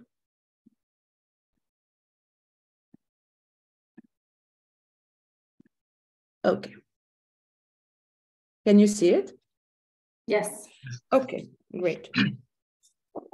So, hello. Uh, we are wrap up team and we think all of you like beer and beer industry makes a lot of byproducts. In our country, we also have a wide production of pumpkin oil with the same problem of massive byproduct leftover. And we plan to save that problem. We are making high fiber and high protein tortillas, which are fun, tasty, and innovative. The main ingredients are spent grain and pumpkin oil pressed cake. The production of our tortillas is easy scalable and ready for mass production. With our tortillas, we are not offering just a great meal for you and your family, but also saving a great problem of food waste. We offer tortillas in three different colors with three different flavors. I'm sure you would like them. Hello, my name is Eva, and I'm also a member of Wrap Up Team. our story actually began between a conversation between me. Uh, we have a farm that makes pumpkin seed oil, and between Gasper, who is a beer maker. You will see the photos uh, in the presentation. Uh, each of us actually had our own uh, high quality waste raw material, uh, and these are brewer's spent grain that are really rich with dietary fiber. So on every 10 liters of beer, we are left with two kilos of brewer's spent grain and pumpkin seed oil press cake. Uh, that's really, really rich with proteins and approximately one liter of 100% uh, pumpkin seed oil leaves us like two kilos of uh, pumpkin seed oil press cake. So here are some pictures of pumpkin seed oil production. Uh, pumpkins are grown in our own, own fields. Um, they are salted, roasted, and then the oil is pressed, as you can see in the middle picture. And we are left with an enormous amount of byproduct that is currently not being used. And here we see Gasper in his brewery. Um, so the craft beer production in Slovenia is growing really fast, in, like in two years, um, because of great, great conditions um, for producing barley and hop. Uh, and we also get a really high quality byproduct from making beer. Unfortunately, these byproducts are still a waste and uh, mostly a concern for the manufacturer. If they're used, they're used for uh, animal feed. Uh, and in this, we saw a central problem and issue uh, that directly concerns big part of Slovenian agricultural ground. And after all um, considerations and surveys, we came up with uh, our product. These are wrap up tortillas. We made them in three different flavors. Uh, so pumpkin seed oil, turmeric and red paprika, and beetroot and honey. Uh, these are tortillas with high content of, of dietary fiber and proteins. And we uh, are also very happy. This was really hard to achieve. It's uh, important to emphasize that these tortillas are wrapped in 100% uh, recyclable materials. So when you ask yourself, how does someone come up with the idea to use those previously unused raw materials? It all starts with our small and beautiful country of Slovenia, which you can see on this map. In Slovenia, we sure love uh, beer and we also love pumpkin oil. Slovenia is divided in a few smaller regions. So what can you get from each region, we ask ourselves. The central and the northern region make most of the beer. So there we get the brewer's spent grain. Then we have the southern region, which has a lot of fields and the best flour in Slovenia. Then there is the eastern regions with pumpkin oil, and from there we get the pumpkin oil press cake. But then you ask yourself, why did we leave the western part blank? Well, we didn't. There lies the fourth ingredient that we are yet planning to use. That is wine pomace, which is left from the production of wine. As the region is very rich in wine and the pomace is very rich in many nutrients like fiber, polyphenols, etc. So to mention, this is not our first competition. It all started when we signed up for Ecotrophelia. At the start, when the team formed, we thought things will go smooth, everything will be easy. Well, we were so wrong. We had to check all the things you can see on this slide to get where we are today, but we're happy we had to do that. Uh, we learned so many things and we made a good product. Also, we won the third place in Ecotrophelia 2022. So we have a good product. That is, that is it, right?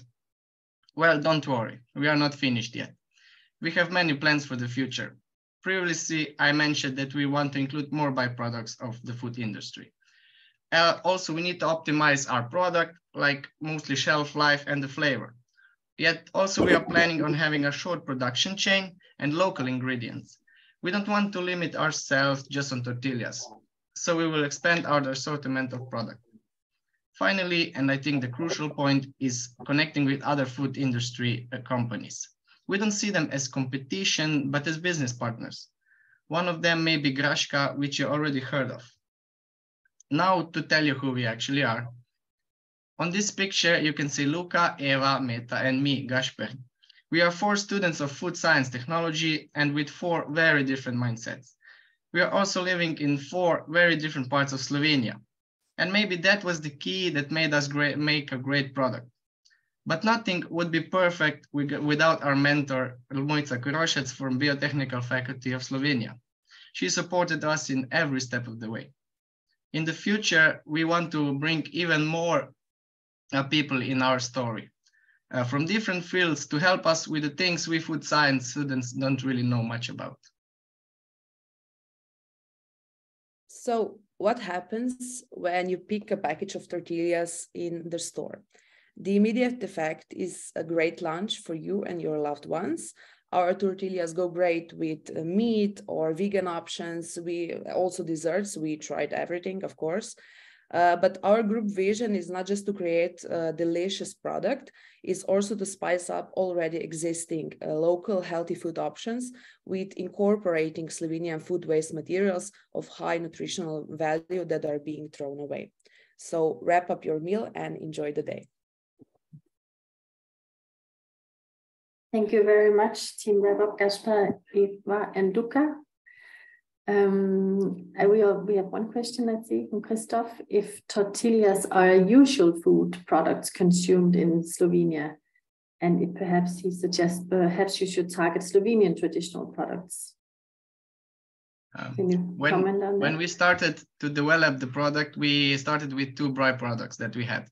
And then we made uh, an analysis, we made uh, form that we handed out to people and most of the people said tortillas would be something that they would see these uh, byproducts in.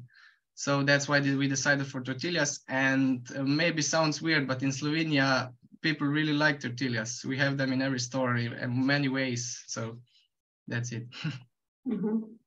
Right. Did you do some uh, uh, like consumer tests on the on the taste or the sensory properties? Um, yes, we had some um, some panels. Uh, we also handed out the tortillas in our faculty uh, to around 50 people, and we get we get got those uh, feedbacks, and we made our product better. We mm -hmm. changed some things, uh, but we are yet planning to making more of those uh, consumers reviews and to get more info. Mm -hmm. Okay, great. May I make a question? Yes, please. Um, uh, the question is related, uh, if I understood, you plan to collect the, the byproducts from uh, different companies, smaller companies, is it, uh, did I understand well? Uh, it actually depends on the byproduct.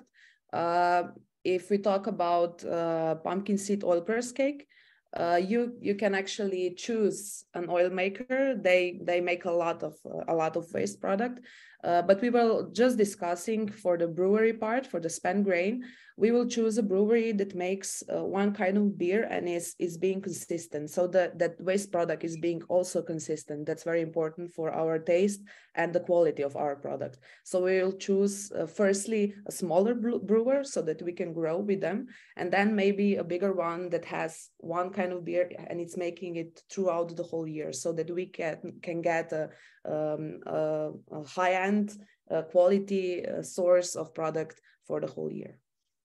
One of the, the things I think many times uh, on, uh, because there are many, uh, there is a lot of research of people that study applications of different byproducts and they okay they propose uh, application in different products but when you go do the scale up uh, do you anticipate difficulties in keeping the product clean and not uh, having for example fermentations and so uh, it's, so the same, I mean, it's not straightforward. It's not like preparing some uh, small quantity uh, when you go to a bigger scale, I think you have to consider other complexity in your process.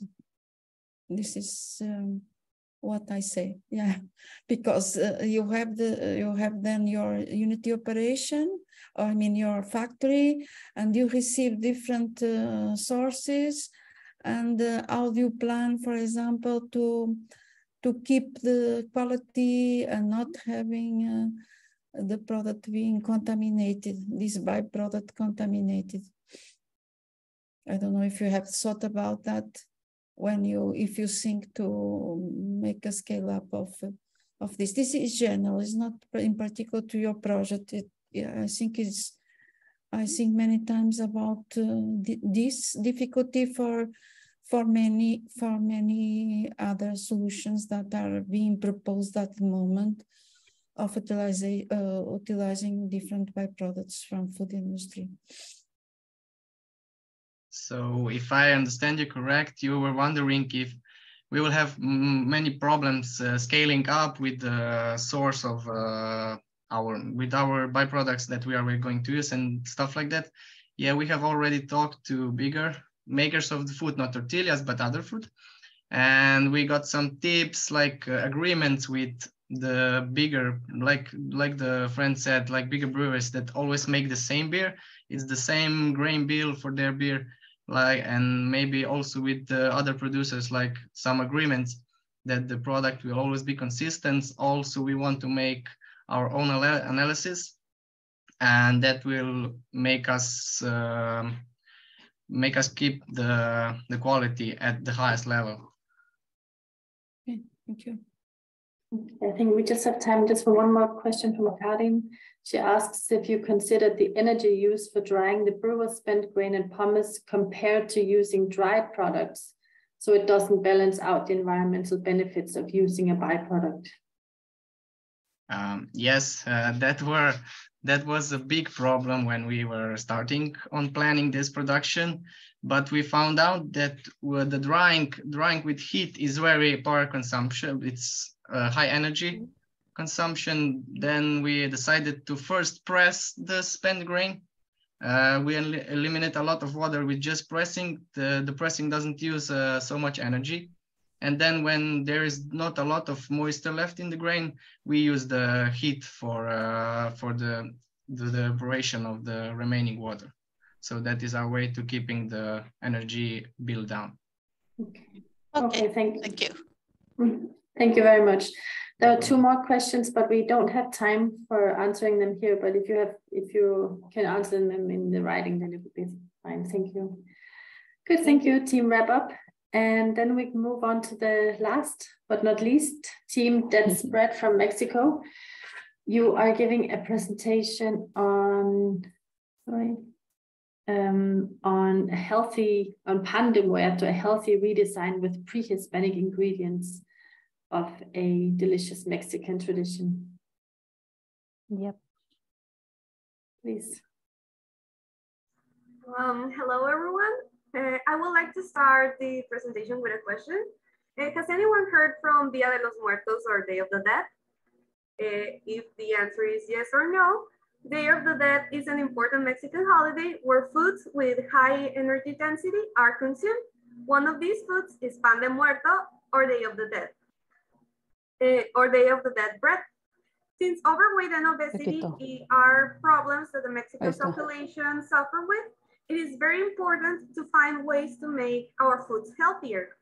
That's why our product's main, main objective is to partially redesign the traditional pan de muerto recipe by partially replacing some of the ingredients for healthier pre-Hispanic alternatives.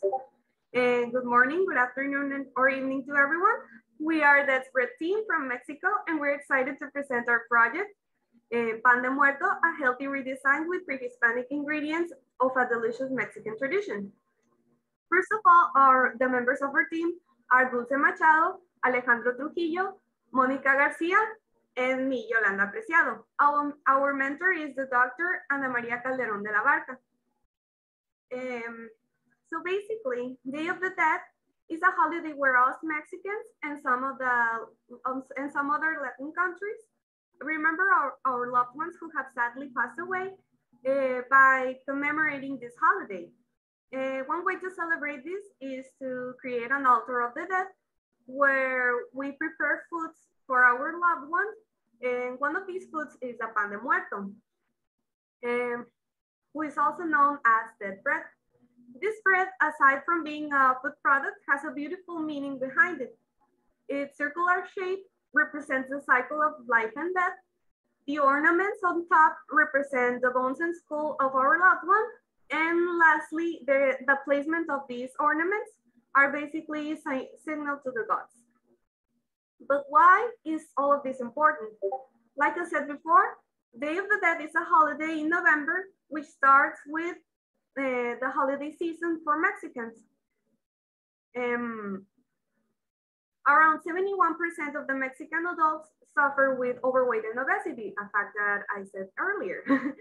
During this season, um, around 50% of the weight gain of the entire year happens, uh, which means uh, the, this, these foods are responsible for this. For this. Um, in, that bread is not only consumed during the month of November, it is also consumed months before. There's even people who start preparing their own dead bread uh, before and before the month of November, around September. And this, bring, this bread contains around 469 kilocalories per 100 grams. And a portion usually weighs around 150 grams, which means that the normal portion will be around 700 kilocalories. Uh, so our aim of this project is to redesign the traditional pan de muerto recipe by replacing wet, wet flour and sugar with healthy pre-Hispanic ingredients such as amaranth, sweet potato, and chia mucilage. Our specific objectives are to reduce the energy density and glycemic index of the product. Next, we incorporate antioxidant compounds in fiber into our bread. And next, we look for additional applications of the alternative crops produced by small producers in Mexico, which means we will generate more jobs with this project. First, we use pop amaranth seeds, chia seeds, and orange sweet potato. We process the ingredients to get uh, chia mucilage, amaranth flour, and sweet potato flour. Also, we use commercial wet flour. We did the analysis to see the nutrients and bioactive compounds of the ingredients. And we mix all of these ingredients to see the dog properties and to get a prediction model. Once we had the model, we bake to prepare the traditional and or new blend for pan de muerto.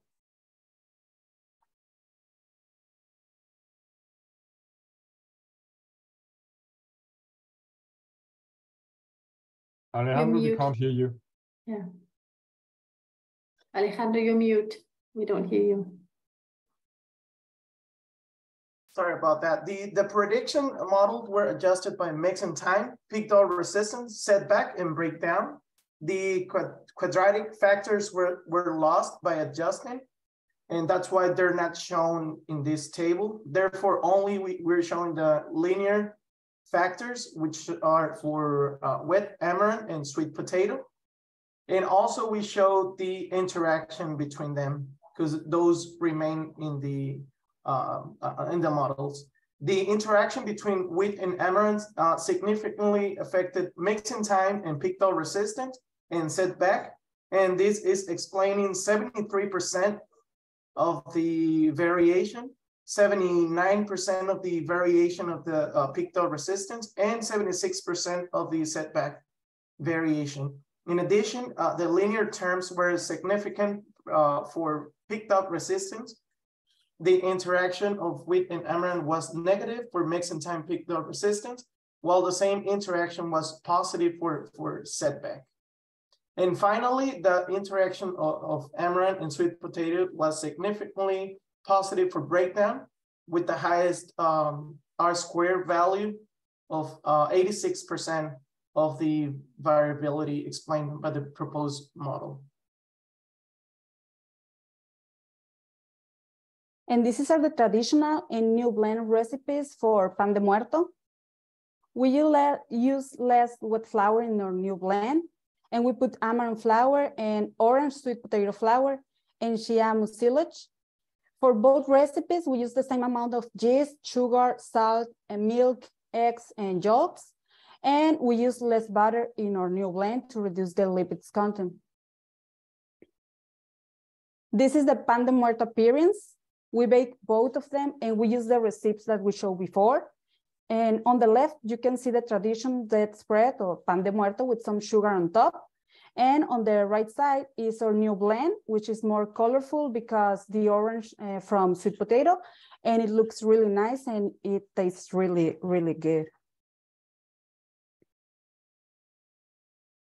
Here, we can see the composition of traditional and new blend of pan de muerto.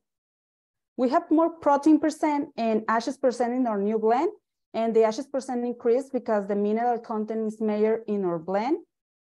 The lipids, the lipids percent decrease, but this percent includes all the unsaturated fats coming from amaranth, which is rich in this, and compared to the traditional blend, which contains saturated fat uh, due to the exclusive use of butter. Also, the carbs reduce in our blend. And finally, we have a reduced energy for every 100 grams in our pan de muerto. Here we can see some properties of both pan de muerto. The fiber increased almost six grams for every 100 grams in our blend, and the total phenols decreased in the new blend, and the beta carotenes increased from traces in the traditional to 1,123 micrograms on the new blend of pan de muerto. And the DPPH, which is an indicated for antioxidants, increase on the new blend. And the glycemic index decrease in our blend.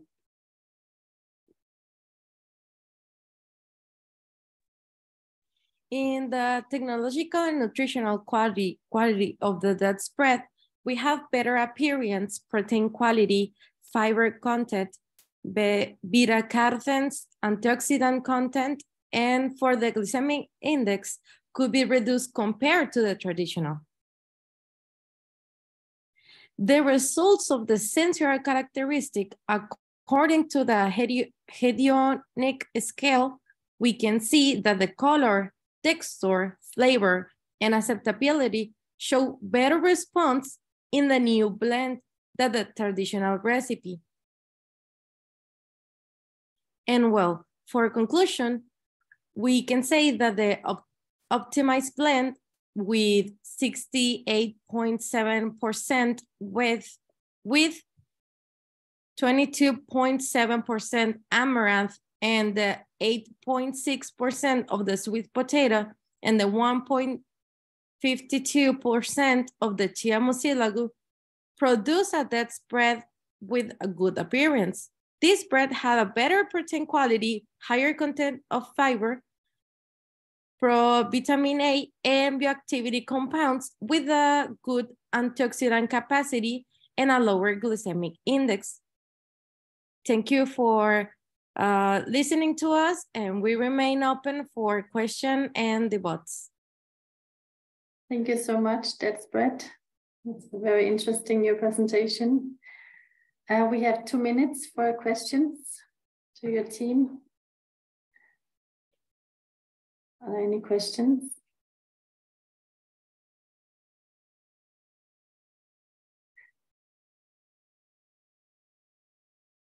I have just a question uh, regarding the consumption of this product is this is it it is uh, is it pro produced um, consumed only during this uh, uh, celebration this uh, death uh, feast I would say or in the, during the year in other period of the year okay pan de muerto usually um, is consumed by two or three months a year but this is a base for us to take care of all the bread um, industry because it's really important to take care of this part of the life.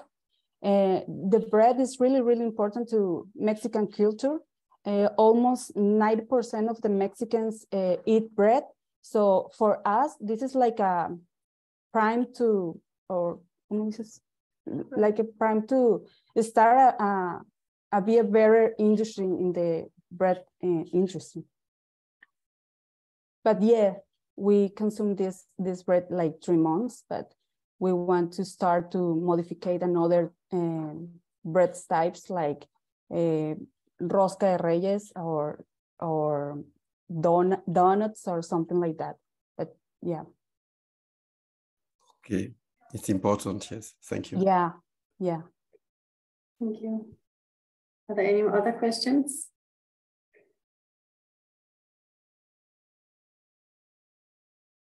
Okay, it doesn't seem like it. Well, thank you so much. Um, thank you. To that spread and to all the teams.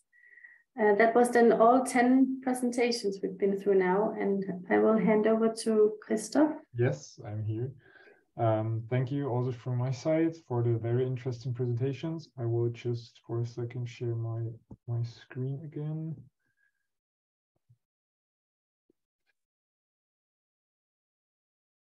So yes, that should work full screen. Perfect. So again, thank you very much. Thank you for your presentations, but also thank you for the audience for your questions and your interactions. And uh, we will now take a roughly 10 to 15 minutes break. Um, this is also to, um, I have to say sorry that we went over the time a bit. So we're roughly 10 minutes behind schedule. But I think this is also due to very interesting presentations. So we had a lot of questions, of course. Um, I think so that can be excused, let's say this way. So we will take about 10 to 15 minutes uh, break where we will collect uh, points of the advisory board. This is also to a reminder to the advisory board, uh, please send us your, uh, your points, send us your evaluations. And uh, once we are back, we will then announce the, the winning team. So please stay with us, please stay tuned. And yes, we will see you in roughly 10 to 15 minutes again.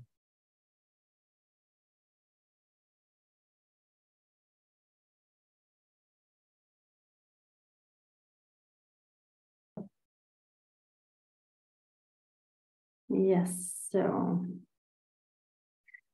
um, so before we announce the winning team, um, I and also on behalf of Christoph and Catherine and Puccini, we'd like to thank first of all all the 10 teams for your participation in the competition, uh, for your great reports and presentations. They were of really, really high quality um, and also for having participated in such high numbers in the online trainings and for your active involvement and engagement and for asking many questions and giving feedback also to, to the other students. Um, and, and of course, most of all, for finding these innovative and uh, doable solutions to modernizing traditional foods.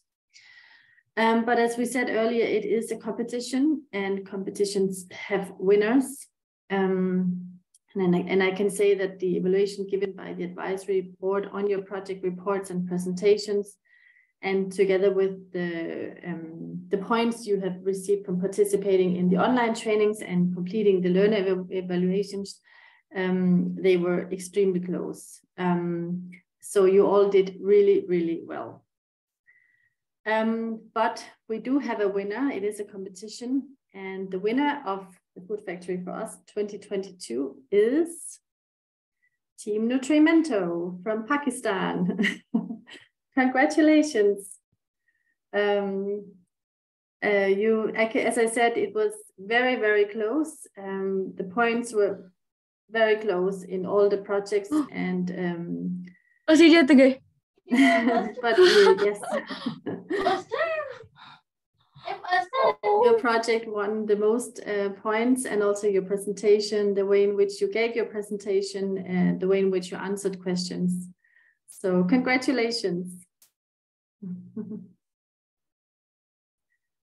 Great. Thank um, you so um, much. Uh, thank you so much.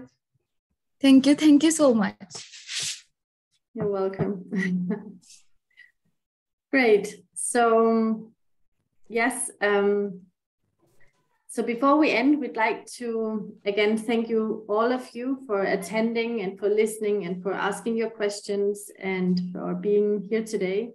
Uh, thank you so much to the advisory board for for being here and for reading the presentations and um, the reports and asking these great questions. And um, also thanks to Christoph and Puccini for your support, and uh, not least thanks to all the 10 teams from, from really around the world, uh, where it's very late now and still morning, um, for sharing your projects and these innovative ideas. We really hope you will keep up uh, this good work, and we also wish you all the best for your future entrepreneurial um, journeys and hope that you can continue uh, contributing to sustainable food value chains. Um, then we would also like to encourage you to check out our newsletter, which you can find on our website.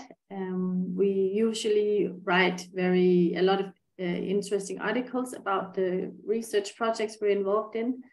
And we will also write, of course, about uh, today's uh, conference. And then as a very, very last um, um, thing I would like to ask all the teams and each team, each student is to fill out the learner evaluation. You've done that very well throughout the last two and a half months. And now we just ask you to complete the very last one. And please do this by the end of Friday this week, by the end of the 16th of December. Uh, we need please everyone, each single student to fill it in. And only when we have all, we can then issue the certificates that you will also receive um, for participation. So on that note, um, we will of course be in contact with the, the, the winning team, Nutrimento, but also the rest of you. Um, and if you have any further questions, you're always welcome to, to contact us. And um, yeah, I think that was it. Christoph, do you have anything else to add? No, I think you you closed this perfectly. Okay, great. Thanks Then again to all the teams. Thanks Yeah. to, to all the participants who came here. Thanks to the advisory advisory board, of course. And in I think also in the name of Catherine, who couldn't be here Absolutely. Yeah. So Great. Then take care, everyone, and hope to see you another time. Could we, sorry, could we maybe get a, a screenshot with the winning team and the slide? If Sure. they are still here, so that we can post it on the social media? Yes. If the winning team, if Can they're we have here, Nutrimento? exactly, and, and open your cameras again. Uh, yes, we are here. Could you please turn on your cameras? Yes, sure.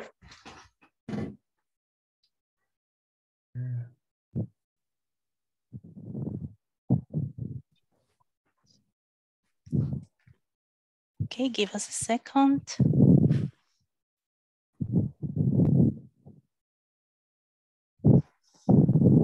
think I'm missing one person.